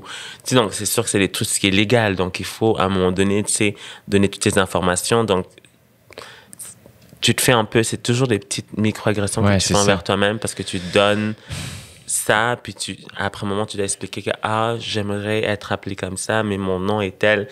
Et à certaines places ou certaines entreprises les- peut-être maintenant ça va un peu mieux, mais avant, ils peuvent forcément pas parce que c'est le nom qui, qui est là, ça doit être marqué ainsi. Donc c'est sûr que là, maintenant, il y a un peu plus de souplesse. Mm. Mais avant. Donc c'est toutes des choses comme ça que. Je, c'est une victoire. Encore une fois, euh, j'admire ta patience et ta douceur dans l'éducation que, que tu fais auprès des autres qui. Euh, puis je suis pas en train de nécessairement les, les, les, les pointer du doigt, là. euh, mais encore une fois, quand tu dis, ah, ben, il y a, y a moyen que je trouve le ton pour lui dire, alors que dans, dans cette interaction-là, techniquement, euh, des fois, il y a des gens qui cross the line un peu, tu sais. euh, et, euh, fait que je te trouve bonne de- d'avoir cette, euh, cette patience-là. Merci. Euh, Est-ce que. Moi, je, je vois à quel point aussi c'est important la, la représentation euh, parce qu'il faut entendre des histoires comme les tiennes pour. Aussi- tout le monde n'a pas le même niveau d'empathie. Est-ce que. Est-ce que des fois, tu es un peu euh, découragé du niveau d'empathie ou au contraire, tu es comme Ah, j'ai espoir, j'ai l'impression que ça s'améliore? Bonne question. Euh, C'est sûr qu'on est. Il y a encore beaucoup de travail à faire. On, on fait, on fait les, les- des petits pas. Qui, euh, c'est sûr qu'au niveau de la société, c'est là où on essaie plus de, de se, de, d'éduquer, de sensibiliser. Mais c'est, c'est peut-être pas un travail que je peux moi toute seule endosser vraiment pour toute une communauté. Ça serait trop lourd. Puis je n'aurais pas le temps, hein, puisque mon Dieu, on est combien? Mais, mais moi, j'essaie de vraiment plus faire. Euh, tu sais, chacun fait sa communauté. Elle sensibilise de plusieurs côtés. On est plusieurs maintenant qui sont quand même assez médiatisés euh, au niveau des personnes trans. Donc là, c'est sûr que chacun essaie de faire son travail de son côté. Puis je pense que quand on regroupe tout ça, ça, ça, ça fait quand même un impact hein, au niveau de la société. Puis quand. Euh, puis là, euh, sens-toi vraiment à l'aise si ça ne tente pas de parler de ça, parce que ça doit devenir aussi fatigant, mais quand tu entends des dirigeants politiques euh, ne pas admettre que le racisme systémique existe, euh, il y a un petit peu de découragement, non? Effectivement, effectivement, parce que moi, c'est sûr que euh, je vis, euh, comme je disais tantôt, comme différentes formes d'oppression, dont euh, parfois je sais pas c'est- dû à quoi. C'est ça. Parce que moi, j'en ai deux, donc c'est vraiment deux ma couleur de peau parce que je suis une personne noire. Puis aussi, je suis une personne trans. Puis aussi, en tant que je suis une femme, une femme trans. Donc, c'est là où, où généralement, euh, toutes les agressions que j'ai à vivre, je ne, je, ne- je ne connais pas euh, quelle est c'est dû à quoi? Parce que je, je peux pas être dans, la tête de l'autre personne qui, a, Ouais. qui, a, qui a commis ce crime, tu vois? Et euh, juste pour donner un exemple qui m'est arrivé hier, euh, j'étais chez le médecin, puis moi, j'ai changé mon nom. Et euh, j'ai changé euh, tout, tout, tout. Donc, la carte d'assurance maladie, elle change, puis il y a le numéro qui change et tout. La date d'expiration et tout. Et euh, c'était écrit mon nom avec mon prénom. C'était écrit Madame. Et, je sais, parce que je vais souvent à cette place, puis je suis pas folle. Je, je vois cette étiquette. Normalement, c'est obligé d'écrire F, euh, femme, à côté. Mais euh, à côté, c'était écrit homme. Ça m'a tellement. Et là, je, sais, je- j'en ai parlé, au, au, au médecin, puis j'étais comme. Mon médecin de famille, j'étais comme. Si je parle encore, ça va être euh, perçu comme quoi, OK, Alicia se plaint beaucoup ou que je paranoïe. Mais j'étais comme, je n'ai, je n'ai, je peux pas point- pointer le doigt sur euh, qui est la personne, mais je sais que dans euh, les secrétaires euh, ou le secrétariat, les gens qui travaillent au niveau du secrétariat, pourquoi c'est marqué? Regarde juste à, côté de mon nom. Puis il a vu, puis il, a, il, a, il, a- il- était comme, ben là, c'est écrit le nom, c'est écrit F, c'est écrit Madame, tout pourquoi? Je pense que c'est la, la coche, c'est comme peut-être dans le niveau du système, ils peuvent cocher, H pour homme ou F pour femme, mais tu sais, les gens vont peut-être, par méchanceté, le cocher. Donc, quand je l'ai vu, euh, j'ai pris la photo parce que j'étais comme, il faut, il faut que je, je, je vois ça. Puis, malgré tout ce que j'ai fait, que j'ai changé de nom, que c'est quelque chose qui, a, qui, qui se passe depuis 2019, je, je retrouve ça encore en 2021. Et là, je me dis, cette fois-ci, on va le mettre sur quoi? Est-ce qu'on va le mettre parce que je suis noire ou on va le mettre parce que je suis, tu sais, une, une femme trans? Tu comprends? Mais c'est pour ça que des fois, je parle d'empathie parce que euh, j'aime euh, ça, ça. Puis je peux pas m'imaginer comment toi tu te sens quand il y a des gens qui font Ben là, euh, on fait notre possible, tu sais, on, on commence à s'améliorer. C'est comme, c'est, on n'est pas en train de dire que, que c'est pas ça, mais je- il y a- moi, à chaque fois j'entends ça, je trouve qu'il y a un flagrant manque d'empathie parce que je fais ça aurait pu t'arriver à toi. C'est, tout ce que je vois dans les nouvelles, euh, ça, ça aurait pu arriver à moi. Puis ça, c'est comme, c'est juste là-bas. C'est même pas que pour que je demande des soins ou je demande, je, je viens là pour vraiment être soigné, pour vraiment avoir mes, mes traitements, mais de, parce que je tombe sur des personnes, je vais vraiment me, essayer d'avoir un langage, tu sais, mais euh, des personnes comme ça qui euh, décident de, de, de, de donner, de faire encore plus vivre la misère, parce qu'on va dans un, c'est un, un vocabulaire poli, mais tu sais, te vivre encore plus la misère, et, c'est là où tu dis, mais tu sais, voyons donc, ça n'a pas, ça pas de sens. Et puis lui, il le voit, puis il était comme, si je vais parler, ça va faire un, pas un scandale, mais ça va être entendu. Puis ça- et des patients qui attendent, et de la clinique, fait que j'étais comme, je te laisse la charge d'aller en parler, puis que ça doit être changé parce que moi, j'ai besoin que ça soit marqué parce que tu le sais que j'ai travaillé fort, puis que je me suis battu pour avoir ça. C'est pas une personne qui, euh, sur le coup du, du racisme ou de la transphobie, euh, que je, je, sais pas moi sur quoi le mettre. Et euh, donc quand on dit que vraiment le racisme systémique, c'est ça, ça n'existe pas ou que ah ou qu'on est au Canada, à Montréal, que la transphobie n'existe pas, moi je leur dis mais vous n'êtes pas dans mes chaussures, donc vous vous pouvez pas savoir, c'est les réalités euh, que que j'ai à vivre. Et quand je l'explique, les gens, les gens sont, sont, sont, sont choqués que ça arrive encore à ça, puis ils sont comme, mais pourquoi, pourquoi te, te faire vivre autant de misère et des discriminations? Donc, ouais, dans mon cas, moi, c'est toujours, je me pose la question, parfois je me dis, OK, est-ce que c'est dû à ça ou. ouais. C'est fatigant aussi De, de, constamment être un peu sur ses gardes ou faire, ah là, attends, là, c'est. C'est quelle partie de moi que je suis censé défendre? Mm-hmm c'est comme, si, moi. C'est pour ça que je trouve que on, s'améliore, puis il faut, évidemment, il faut, euh, faut, faut, célébrer les, les, les petits pas qu'on entreprend en tant que mm-hmm. société. Mm-hmm. euh, mais faut. C'est pour ça que souvent, je, des fois, je, peut-être que les gens qui écoutent me trouvent fatigant, mais je parle beaucoup d'empathie parce que je fais. Euh, j'ai j'ai pas choisi qui je suis, t'as pas mm-hmm. choisi qui t'es, on est juste mm-hmm. arrivé, puis c'est mm-hmm. comme ça.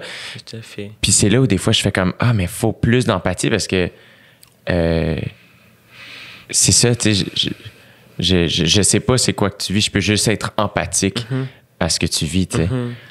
Puis voilà pourquoi euh, je trouve vraiment important que euh, les gens, partagent leur histoire, leur histoire ou leur vécu parce que c'est vraiment en parlant. Il y en a peut-être des gens qui, qui le vivent, euh, mais qui n'ont pas peut-être, l'espace ou l'endroit pour vraiment en parler.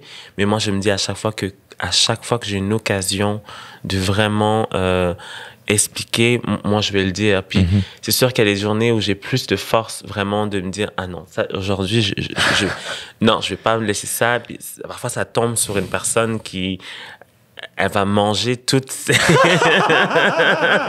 tout le cumul que j'ai j'ai dû garder puis non, c'est c'est dur, c'est difficile donc euh, ah, mais euh, c'est pour ça que quand les gens me demandent est-ce que c'est facile, je leur dis c'est pas quelque chose de facile. Sois sûr que vraiment dans quoi, euh, dans quoi tu t'embarques. Moi, peut-être, je n'avais pas idée euh, jusqu'à ce que vraiment j'entame la transition puis que je sois vraiment à l'intérieur de voir tous les problèmes que j'aurais peut-être à, à, vivre. Parce que là, j'étais peut-être, OK, avant un homme gay, mais j'étais, c'est sûr, en parenthèse, mais vraiment j'étais comme j'avais certaines réalités, mais là, d'être encore femme trans, je, ne pouvais pas comprendre les réalités que les femmes trans pouvaient vivre tant que j'avais pas fait ma transition puis que j'étais pas là-dedans. Mm-hmm. Donc, c'est là où je suis comme, aïe, aïe, comme tout ça, j'étais pas au courant de tout ce que j'aurais, j'aurais à vivre. Donc, c'est vraiment en étant à l'intérieur que,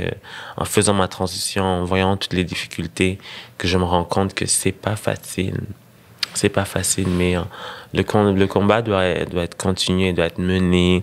Euh, voilà pourquoi je demande, c'est vraiment important qu'il y ait plus de visibilité. Ouais. Ben oui. Euh, mais surtout encore des, des, vraiment des people of color, vraiment des personnes, vraiment des minorités. c'est encore plus important parce que elles sont là. C'est Montréal, c'est une, une, une ville multiethnique. Donc, c'est sûr qu'il faudrait plus de représentation, c'est culturel. Et c'est la richesse aussi. Mhm. d'ici. T'es la richesse du Québec. Mhm. Tu sais, euh, euh, c'est ce qui fait que c'est extraordinaire être ici. Tu sais, c'est le mélange des cultures, puis le partage. Euh, il y a aussi. Est-ce que tu as l'impression. Puis c'est pour ça que souvent, on, je te parle de ta force. En tout cas, j'admire cette force-là parce que aussi, c'est c'est une. Est-ce que tu as l'impression que ta vie est politique? Euh, oui, c'est sûr que parce que oui, il faut il faut il faut euh, montrer que euh, nous on, on, revendique en fait notre place dans la société. C'est comme si on, on, on, tape sur la table et on dit que comme on existe, nous sommes là, nous avons toujours existé. Euh, c'est sûr que oui, c'est sûr qu'avec tout ce qu'on a à vivre, on est vraiment marginalisé, les plus marginalisés de la société. Donc, on n'est certainement pas euh, vu vraiment dans le quotidien ou dans la vie de tous les jours de toutes les personnes. Mais euh, voilà, par exemple, pourquoi, si je, si je prends, je pense que le, le déclic, si on, on, on va revenir, par exemple, au, euh, je donne un exemple très clair, euh, à la couverture du magazine Véro, tu sais, Ouais. Même quand ils recherchaient vraiment à inclure une personne trans noire, il y en a pas beaucoup, mais c'est directement, d'une personne à une personne qui, qui s'est arrivé directement à moi pour dire, ah, il y a une personne de la communauté qui s'appelle Alicia, puis qui, qui est là, qui est impliquée dans tout ce qu'elle, dans le communautaire, puis qui fait vraiment un travail remarquable, puis on va mettre en contact. Puis c'est là où vraiment c'est arrivé à, hum, jusqu'à comme par exemple Véronique Loutier puis que comme on, on soit à la couverture du magazine Véro puis que le monde sache vraiment que nous existons puis nous soyons là. Puis souvent les gens disent ah je savais peut-être pas qu'il y avait euh, des femmes trans qui étaient là puis qui vivaient certaines réalités avant je pense que ça a pris peut-être euh, cette couverture médiatique pour vraiment montrer que on existe puis qu'on est là. Puis je dis souvent je suis pas la seule il y en a d'autres. Mais parce que euh, on est souvent mis de côté, on ne nous voit pas, on ne nous entend pas.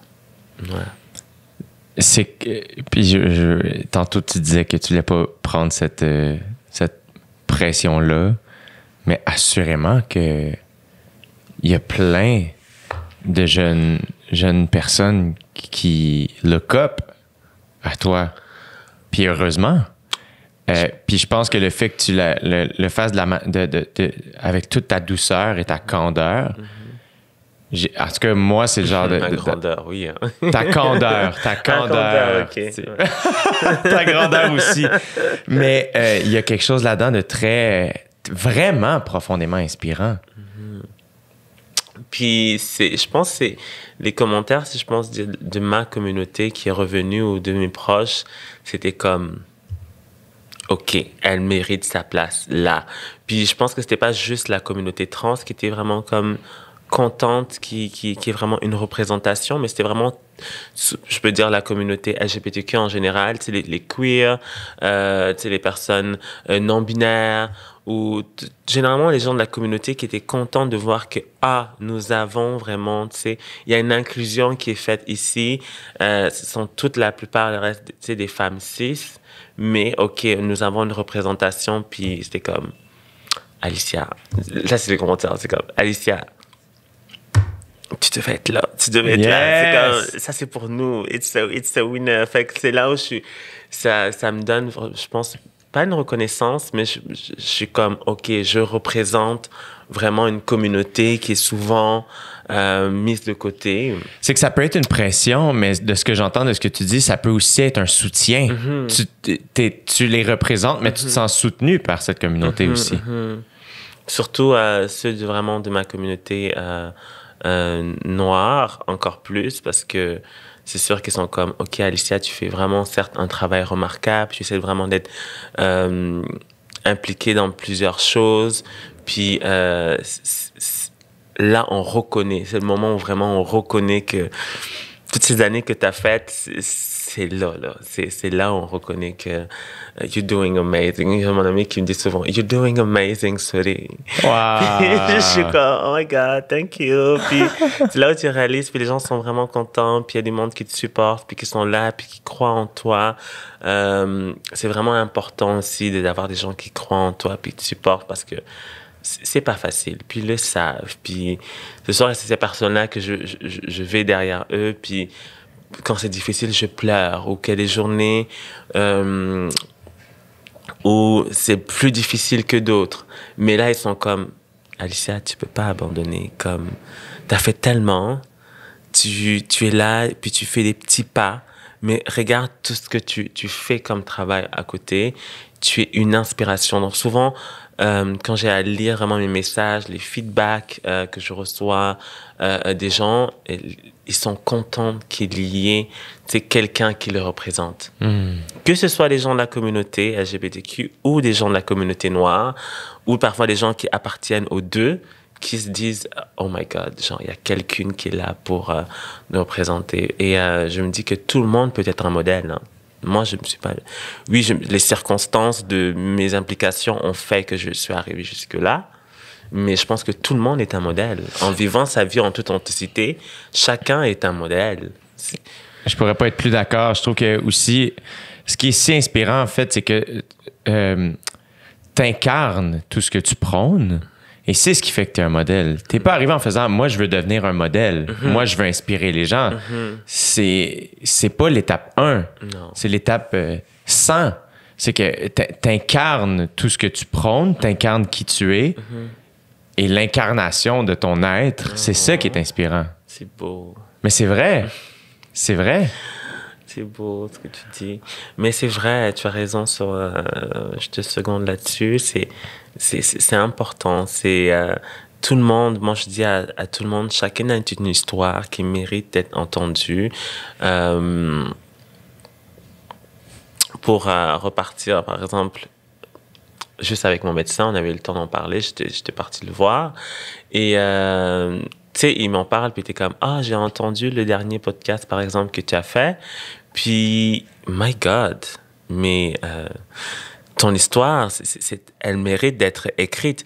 Même si tu ne sais pas comment euh, écrire, il faudrait que tu trouves quelqu'un qui, qui puisse l'écrire. Oui, c'est sûr, tu n'as pas 80, lui me disait comme ça, tu n'as pas 80 ans, puis que tu as vécu, donc c'est sûr que tu n'auras pas 300, 400 pages à, à, à dire, mais de tout ce que tu as vécu, c'est qu'en en, en écoutant le podcast, puis es comme, waouh, c'est c'est un parcours et ça me permet de connaître un peu plus Alicia. Ouais. Donc c'est là où il, il me dit, euh, il me dit, mais tout le monde, il me dit, tu sais, moi aussi, j'ai mon histoire. Je peux vraiment l'écrire parce que je viens de très loin. Je suis personne migrante, j'ai mon histoire. Il y a des choses que j'ai dû sacrifier pour venir ici et tout un chacun euh, peut-être banalise euh, son histoire en disant qu'elle n'a rien de, de sensationnel, mais alors que non. On peut aller euh, faire avoir un impact dans la vie de tout un chacun dans, pour différentes raisons. Absolument. Ouais. Moi, j'irai voir le film de ta vie avec grand plaisir. Euh, J'imagine que ton médecin parlait du podcast que tu as fait avec Fabrice Ville. Oui, il parlait de celui-là avec Fabrice Ville, Extraordinaire. et l'autre avec, euh, avec Corneille qui est sorti. Oui, vendredi. oui, c'est vrai. Non, c'est vraiment là où il était comme. oh, Corneille. wow. I know, Tu sais? I know. Corneille, man. I know. That's some... Je l'ai rencontré. Même Fabrice Ville, je, je, je, je- j'étais comme, j'en revenais pas. J'étais comme, oh my God. Mais vraiment, euh, me, moi. j'étais comme, oh. Puis je regarde toutes les invités qui sont passés, puis j'étais comme, my God, genre. euh, Tu sais, c'est.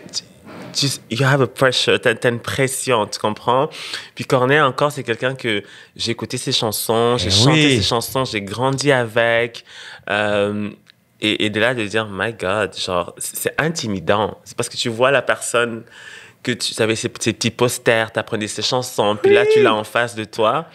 Puis là, même pour toi, c'est comme quand on m'a annoncé que tu voulais euh, m'avoir à ton émission et que tu voulais me rencontrer. Je vais le dire parce que la personne s'est mis en contact. J'ai crié au téléphone.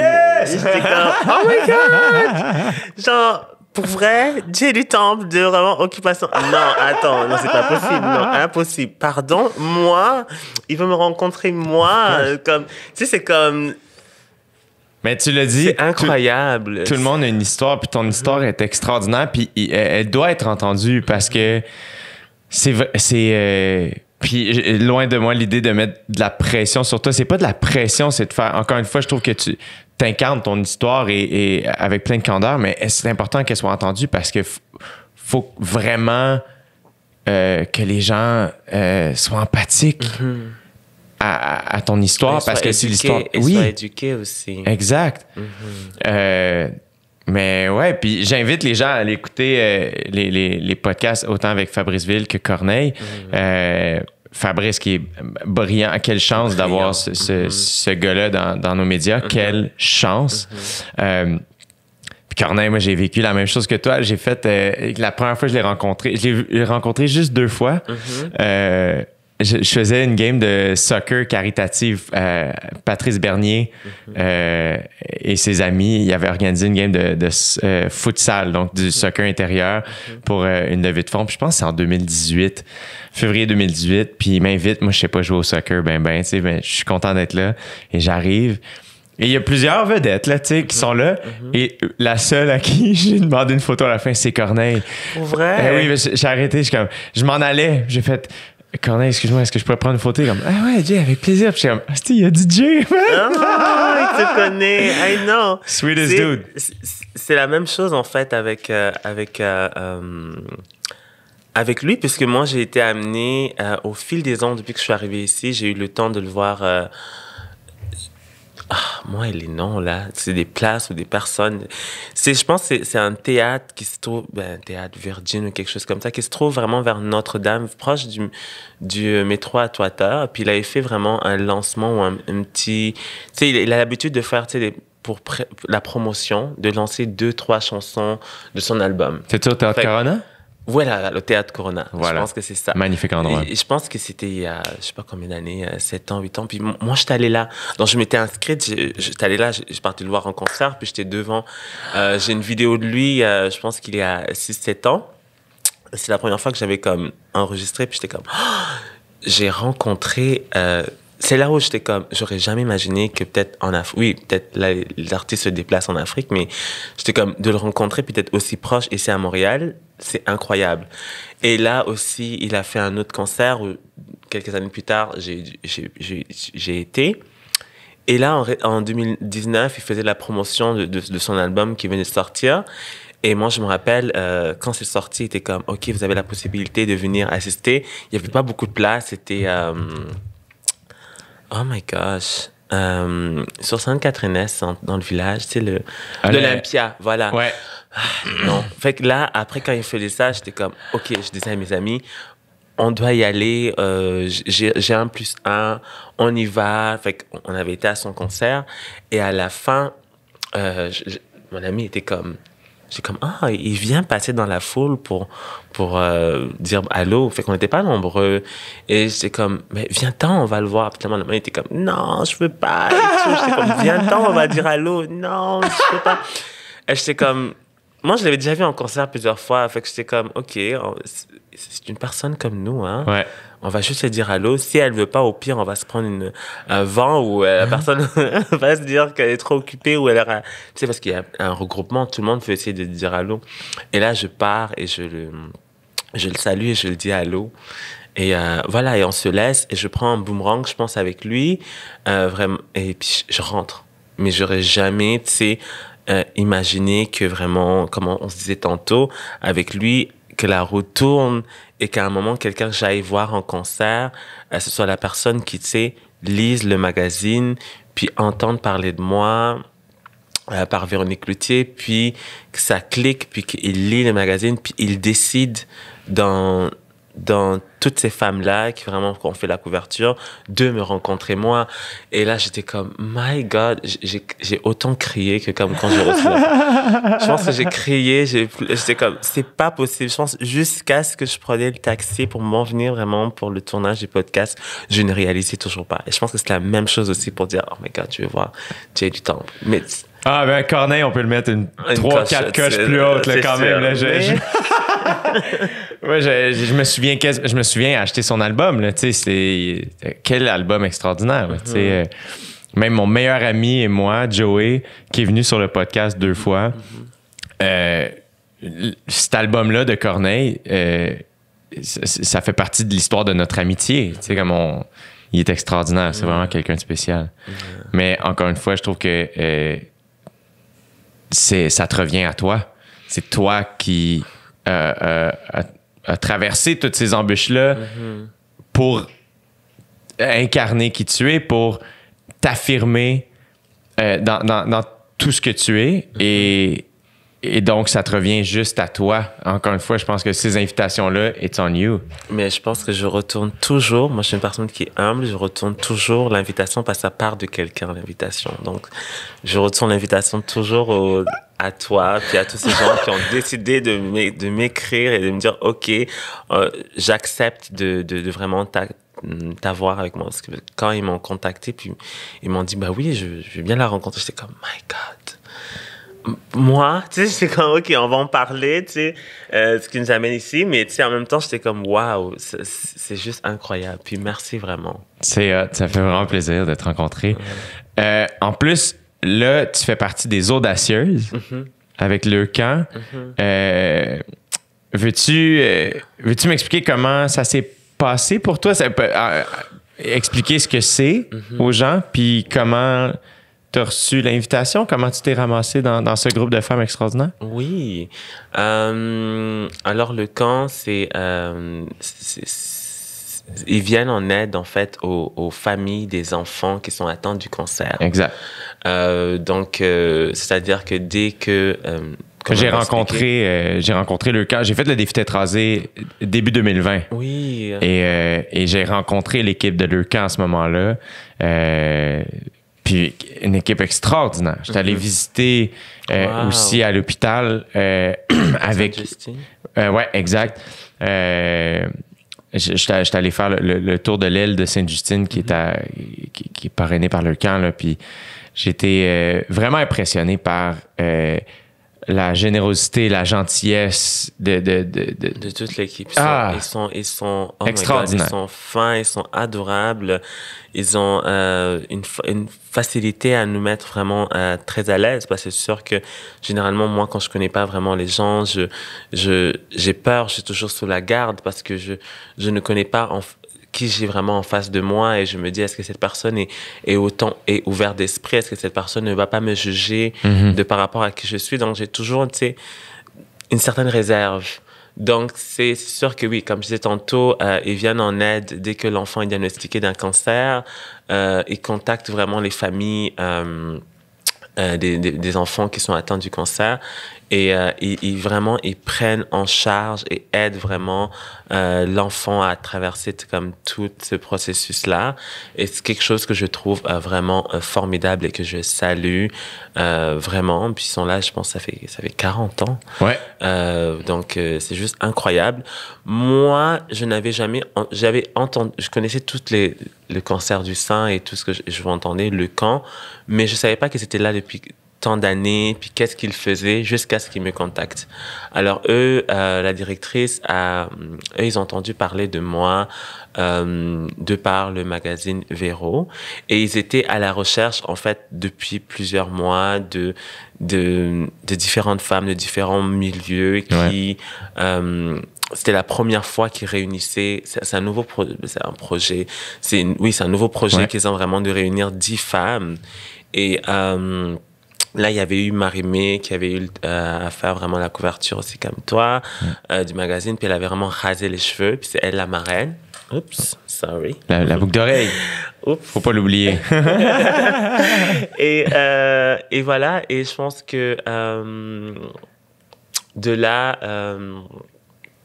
et là, quand ils m'ont contacté, ils nous ont dit comme quoi euh, nous avons vraiment une marraine, puis nous sommes à la recherche de, de, de, de, de femmes qui sont, euh, qui, qui, je pense qu'ils ont cinq critères qui font euh, d'une femme euh, une audacieuse. Et quand elle m'a contacté, la directrice, c'était comme nous avons demandé les coordonnées au magazine Véro, et on a eu, je pense, maintenant c'est sûr qu'avec la pandémie, tout se fait par Zoom. Ouais. Donc, on a eu, on a eu vraiment comme le meeting, ils ont dit on aimerait vraiment te parler. Et moi, j'étais comme, ok, cool, on va, on va se parler et tout. Et hum, qu'est-ce qui se passe par après avec le cas, c'est sûr que ça dérange. Qu'est-ce qui se passe par après, c'est que euh, on, on fait le meeting, on, on se rencontre par Zoom. Il y avait la directrice, puis euh, euh, je pense Elisandre, euh, puis la personne qui nous a mis en contact tous les Ouais. deux. Euh, puis c'est sûr qu'ils m'ont dit ah ok Alicia alors on a entendu parler de toi merci beaucoup de nous donner ton temps alors ils m'ont expliqué c'est le camp en quoi ça en quoi ça consiste qu'est-ce qu'ils font. Et je trouvais ça vraiment incroyable. Puis j'étais comme moi j'ai pas eu autour de moi euh, des enfants qui ont été atteints du cancer autour de moi. Donc je connaissais pas mais c'est quelque chose que oui le cancer ça peut attraper n'importe qui j'aurais pu. Euh, puis là ils m'expliquent puis ils me disent ah alors, nous aimerions vraiment t'avoir. Donc, moi, j'étais vraiment honorée. Puis, ils m'ont expliqué euh, vraiment comme tout ce qui se passait. Puis, c'était comme, nous avons déjà trouvé euh, certaines femmes. Puis, nous, nous attendons vraiment de finaliser, mais on aimerait vraiment t'avoir là. Et j'ai vraiment trouvé que c'était encore une fois nice de leur part de comme vraiment inclure, vraiment de faire une exclusivité vraiment de, de différentes femmes. Tu comprends? Surtout Ouais. aussi, euh, c'est sûr que je suis la, la seule personne de, en tant que minorité visible, mais en même temps, bon, c'est sûr qu'il y a une autre personne de la communauté LGBT, mais tu sais, moi, de me dire, OK, j'apporte vraiment, comme encore une fois, une représentation, euh, puis vraiment une inclusivité en tant que femme trans, parce que les femmes trans sont avant tout des femmes, donc ça, j'ai vraiment euh, apprécié euh, ça de leur part. Et puis là, ils m'ont, ils m'ont expliqué comme quoi, euh, alors ce qu'on on attend de ta part, c'est vraiment, euh, comment on va faire, c'est que vraiment, telle date, nous allons, le 28 qui, qui s'en vient. Le 28. Le 28 mars, oui. C'est bientôt, là. dimanche.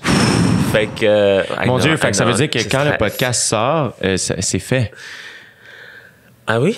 Oui. OK. Ça va sortir le Mais les gens peuvent toujours continuer à, donner. les dons, toujours à le camp, évidemment. Mais oui, c'est sûr que ça sera. Euh, le défi sera déjà. Euh, je vais peut-être, on va peut-être s'arranger pour le sortir avant. Je vais parler avec mon beau Nick. Euh, parce que dans le fond, là, on est le 24. On est mercredi le 24. Mhm. Et là, c'est dimanche. Oui, c'est dimanche. Que tu fais le défi tête rasée. Dimanche, avec toutes les autres femmes. Mhm. OK. Ben, dans ce cas-là, je vais. On va le sortir vendredi. On s'en reparle, Nick. Ça va être sorti. Oh my God. Ça va être sorti. Merci. C'est extraordinaire. ça, fait que, oh mon Dieu. Fait, que là, c'est ça. Fait que moi, le pire, en fait, là, je, je veux pas te couper la parole, je veux que tu continues d'expliquer c'est quoi les, les audacieuses. Mm-hmm. euh, moi, quand j'ai approché le camp, on a eu. Tu peux enlever tes écouteurs si jamais la boucle d'oreille. Euh, la belle boucle d'oreille est, super belle. Pour les gens qui sont audio en ce moment. Purple, la, la couleur de la euh, royauté.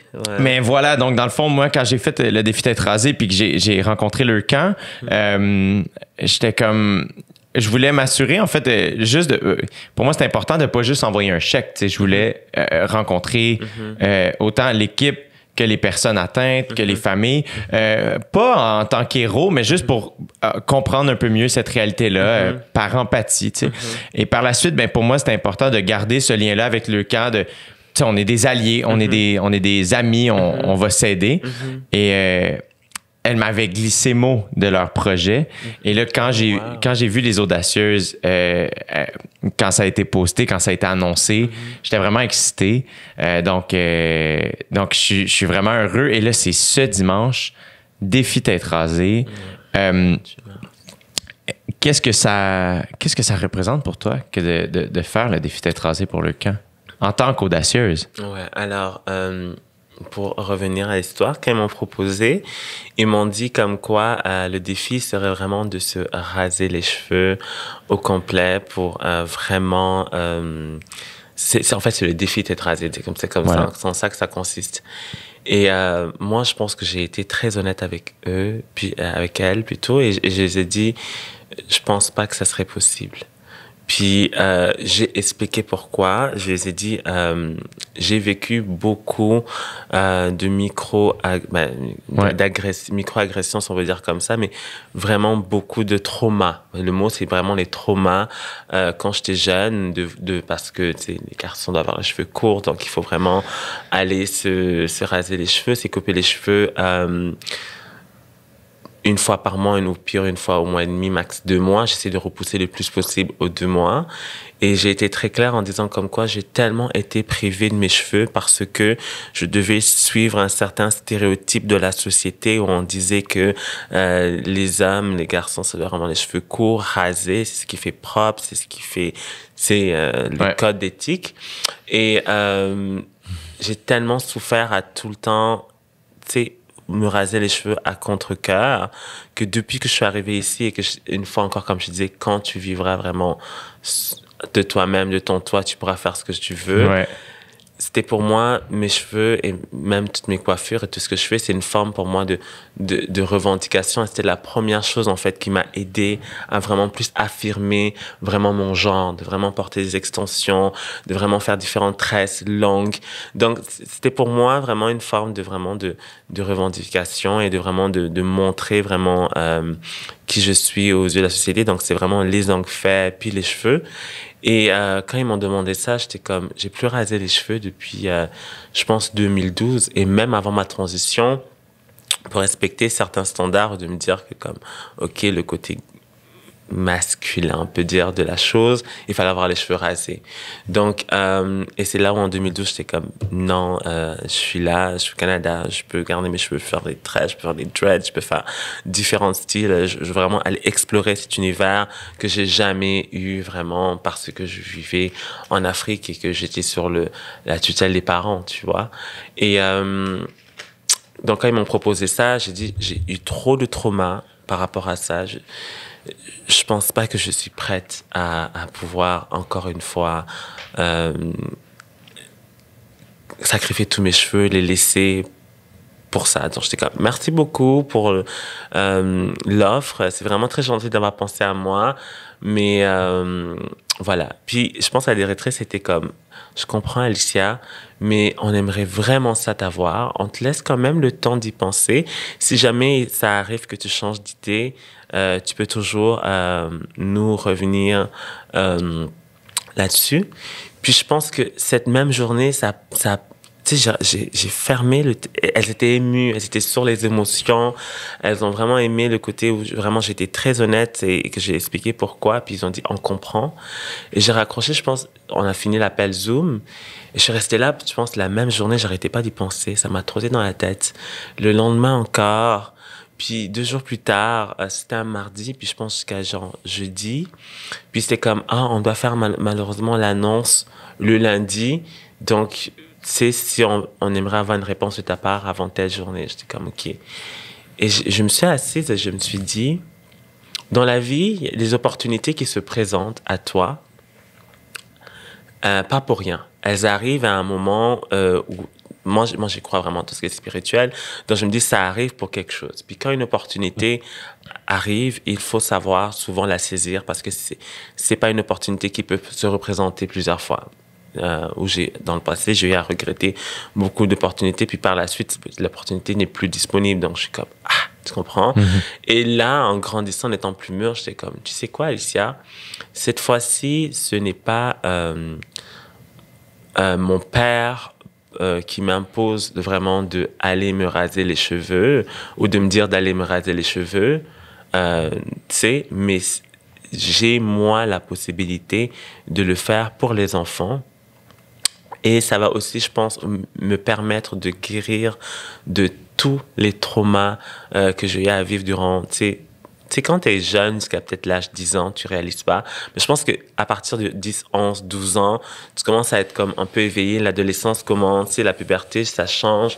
Donc, c'est sûr que plus tu avances dans l'âge, tu vois que vraiment, euh, tu, tu, ne, ton corps ne change pas comme toutes tes amies filles que tu aimerais ou que forcément c'est pas dans cette lignée où tu comprends encore plus la dysphorie que tu vis.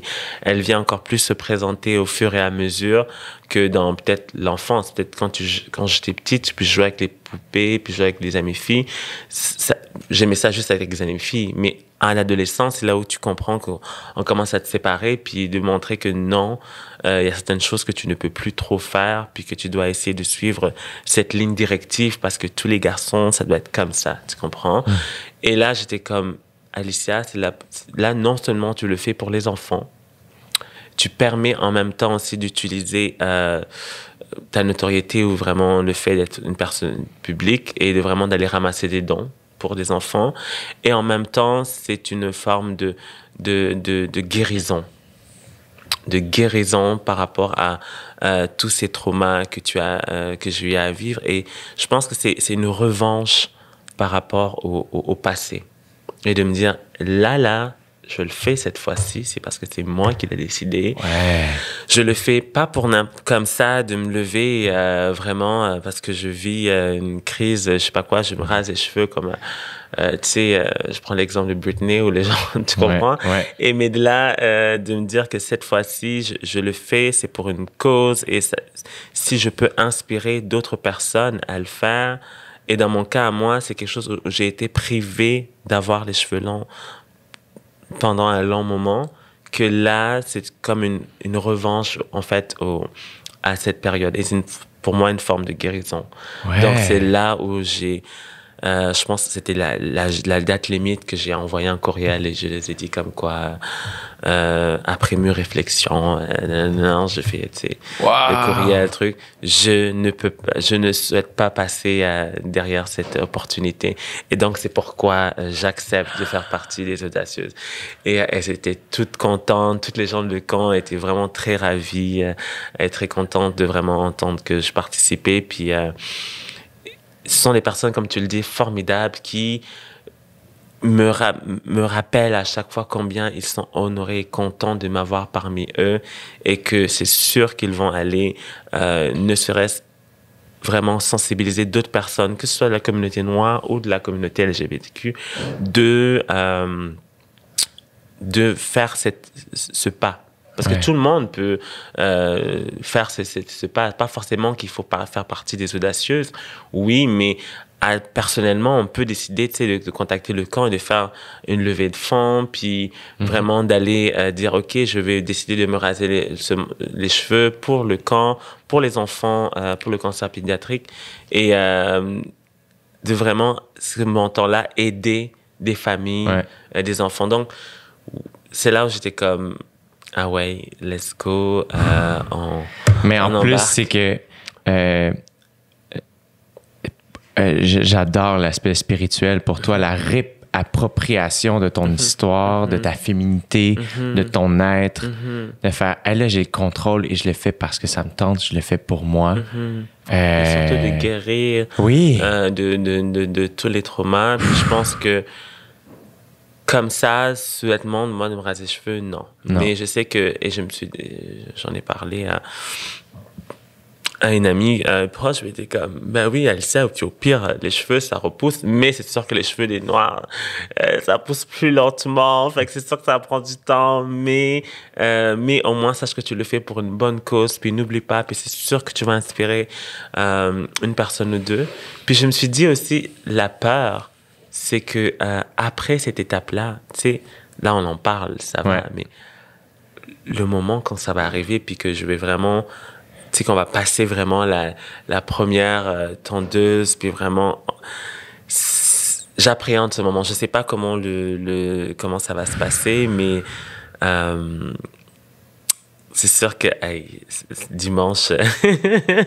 mais euh, j'imagine qu'on peut le suivre en live. Oui, on peut le suivre en live. Donc tous les gens qui auront fait euh, un, un, don euh, vont à ce moment-là recevoir un lien qui permettra d'assister en après-midi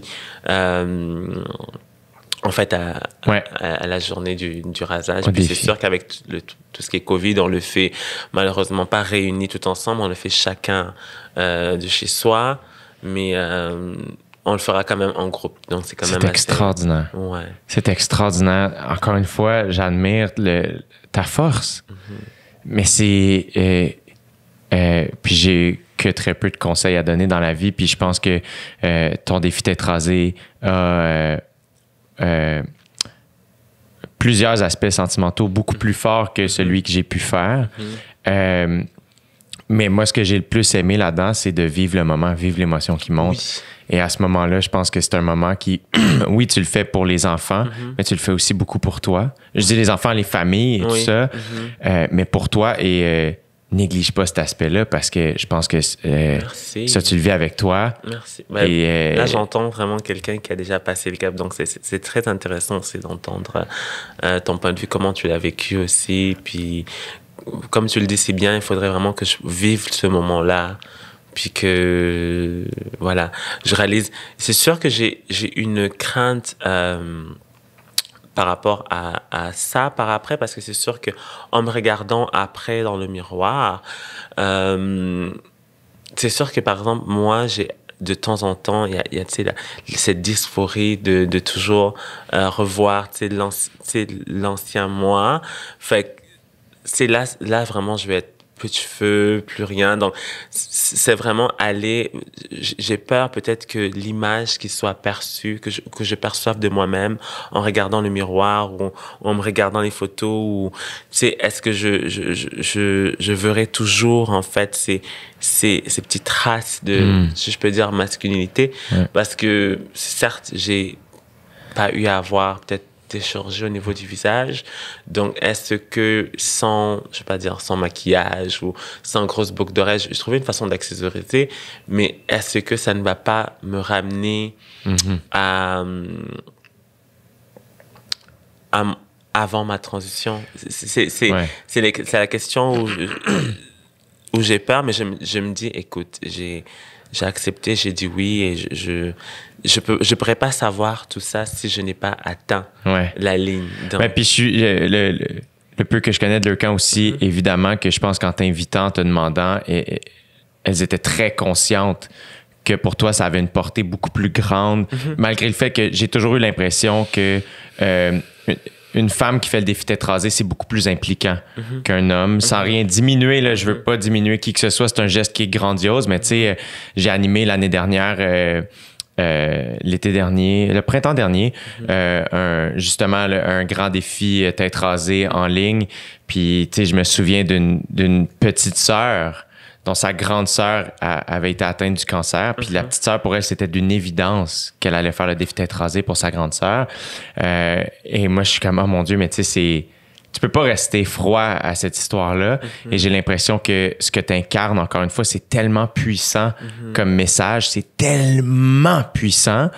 Euh, mais encore une fois, euh, j'admire ta force parce que on a beau être témoin de, de cette puissance-là, c'est toi ensuite qui dois l'incarner à tous les jours Ah, pendant vivre, euh, ouais. Tu sais, des mois qui suivent. Et ça, c'est non négligeable.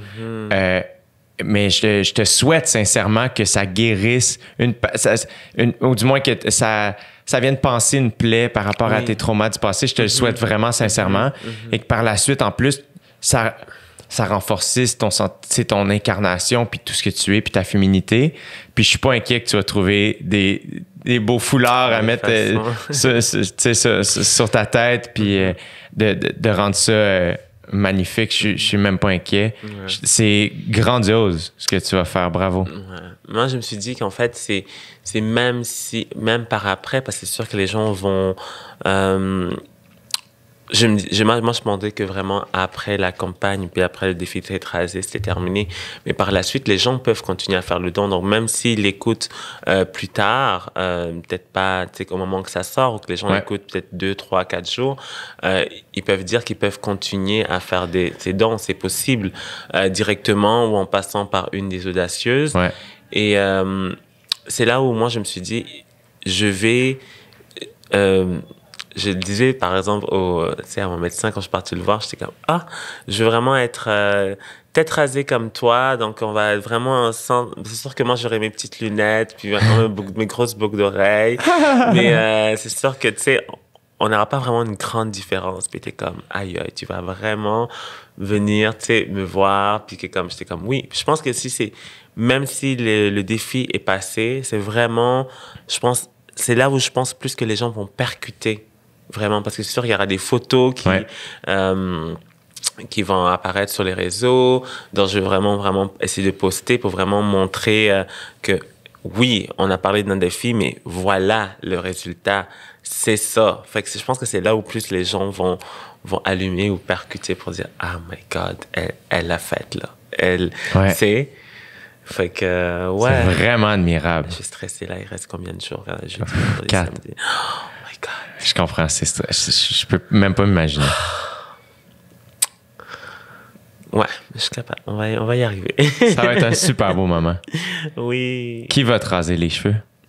Alors, euh, oui, alors là, ils demandent, euh, ils ont demandé euh, si vraiment on avait vraiment une tondeuse, s'ils voulaient qu'on envoie une tondeuse ou euh, qu'ils envoient quelqu'un pour nous raser les cheveux. Et moi, j'ai carrément dit, oubliez ça, je je- j'arriverai pas.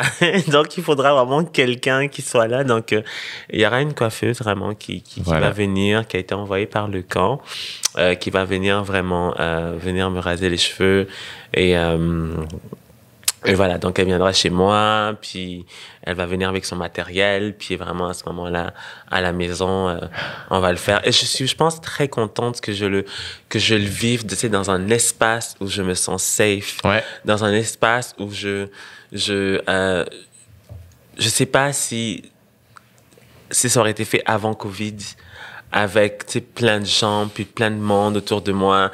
si ça aurait été vraiment, tu sais, la, la, la même énergie, le même vibe. Mais là, je sais que, OK, c'est un moment, comme tu dis tantôt, que, que tu vis pour moi. C'est sûr, ça, ça sera retransmis directement en, en, live.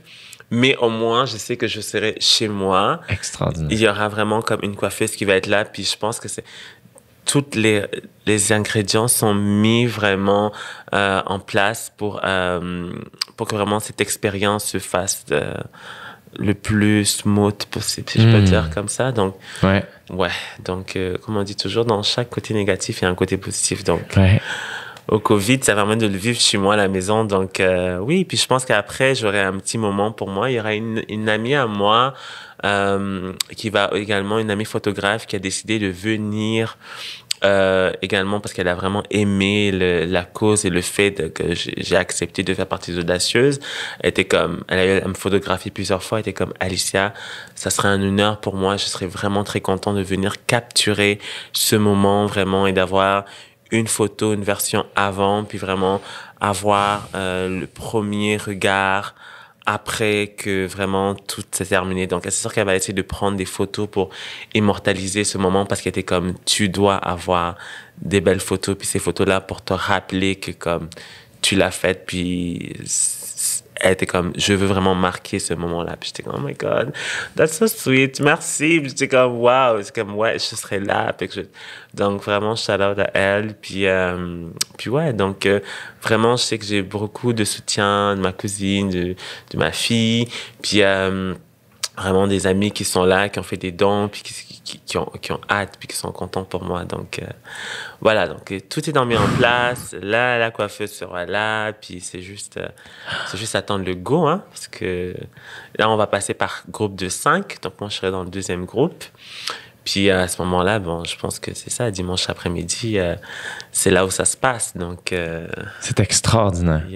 C'est extraordinaire. Ton histoire est extraordinaire, Alicia. T'es Grandiose. Oh my God, l'entendre de Jay du Temple. You do amazing. you do amazing, sweetie. Ah, ouais. Ça m'a vraiment fait plaisir de te rencontrer. Merci à toi de m'avoir euh, invité, de m'avoir accepté euh, dans ton noble. C'est magnifique en passant. C'est le studio SF, c'est les, les, les shout-outs au podcast Sans Filtre, PH Quentin, Doom Plante, grâce à eux, et notre bon Nick grâce à qui tout ça est en ligne. Euh, donc, c'est tous eux, euh, je leur dois tout ça. Euh, merci de ton partage. merci de ta patience. Et bon succès. Je suis vraiment heureux de t'avoir rencontré, puis j'espère qu'on aura la chance de se recroiser plus tôt que tard. Ouais c'est sûr, après tout, tout ce qui se passe, ouais. c'est sûr que j'ai eu le temps d'écouter euh, plusieurs de tes euh, podcasts avant d'arriver ici, puis j'étais comme, oh, c'est un prétexte que tu fais pour voir les Exact. J'étais comme, that's amazing. Il faut trouver tous les, les prétextes tout en respectant euh, euh, vraiment tous les cas sanitaires. Donc, euh, oui. Où est-ce que les gens peuvent te suivre? Alors, sur mes différents réseaux, euh, les différentes plateformes, Facebook, Instagram, Twitter, c'est tout Alicia Kazobinka. Euh, donc, A-L-I-C-A, A-L-I-C-A, K-A-Z-O-B-N-K-A. C'est que le nom de famille est un peu plus compliqué, mais ça, ça se fait. Euh, puis. Euh, T'es aussi porte-parole. Euh, tu l'es plus? Non. Je suis désolé, Colin. Je suis complètement désolé. Hey, tu vois, c'était presque parfait comme podcast. Et J'ai fait la première bévue. non, c'est correct. C'est sûr que c'est sûr que là, c'est sûr que là maintenant, je suis euh, vraiment plus indépendante. Je vais pas dire indépendante, mais je continue à faire vraiment de la sensibilisation dans mes conférences et tout, mon militantisme et à tous les jours, mais vraiment à titre personnel. Merveilleux. Quand même un shout-out euh, au festival. Ouais. Euh, le, le, nom du, du festival, rappelle-moi. Massimati. Voilà. Mm-hmm. Donc, un festival de cinéma pour la communauté LGBTQ+, noire. Donc, longue vie à toi, Alicia. Merci. Je vais penser à toi très fort dimanche. Oh. Je vais essayer d'observer ça. Super. Et euh, on va mettre le lien euh, pour les dons euh, en, en, dessous. Sinon, c'est sur le site de Lurcan ou des les audacieuses, pardon. Donc, je t'embrasse à distance. Mm. Merci beaucoup, beaucoup. Thank you so much. Bonne journée à toi. Toi aussi.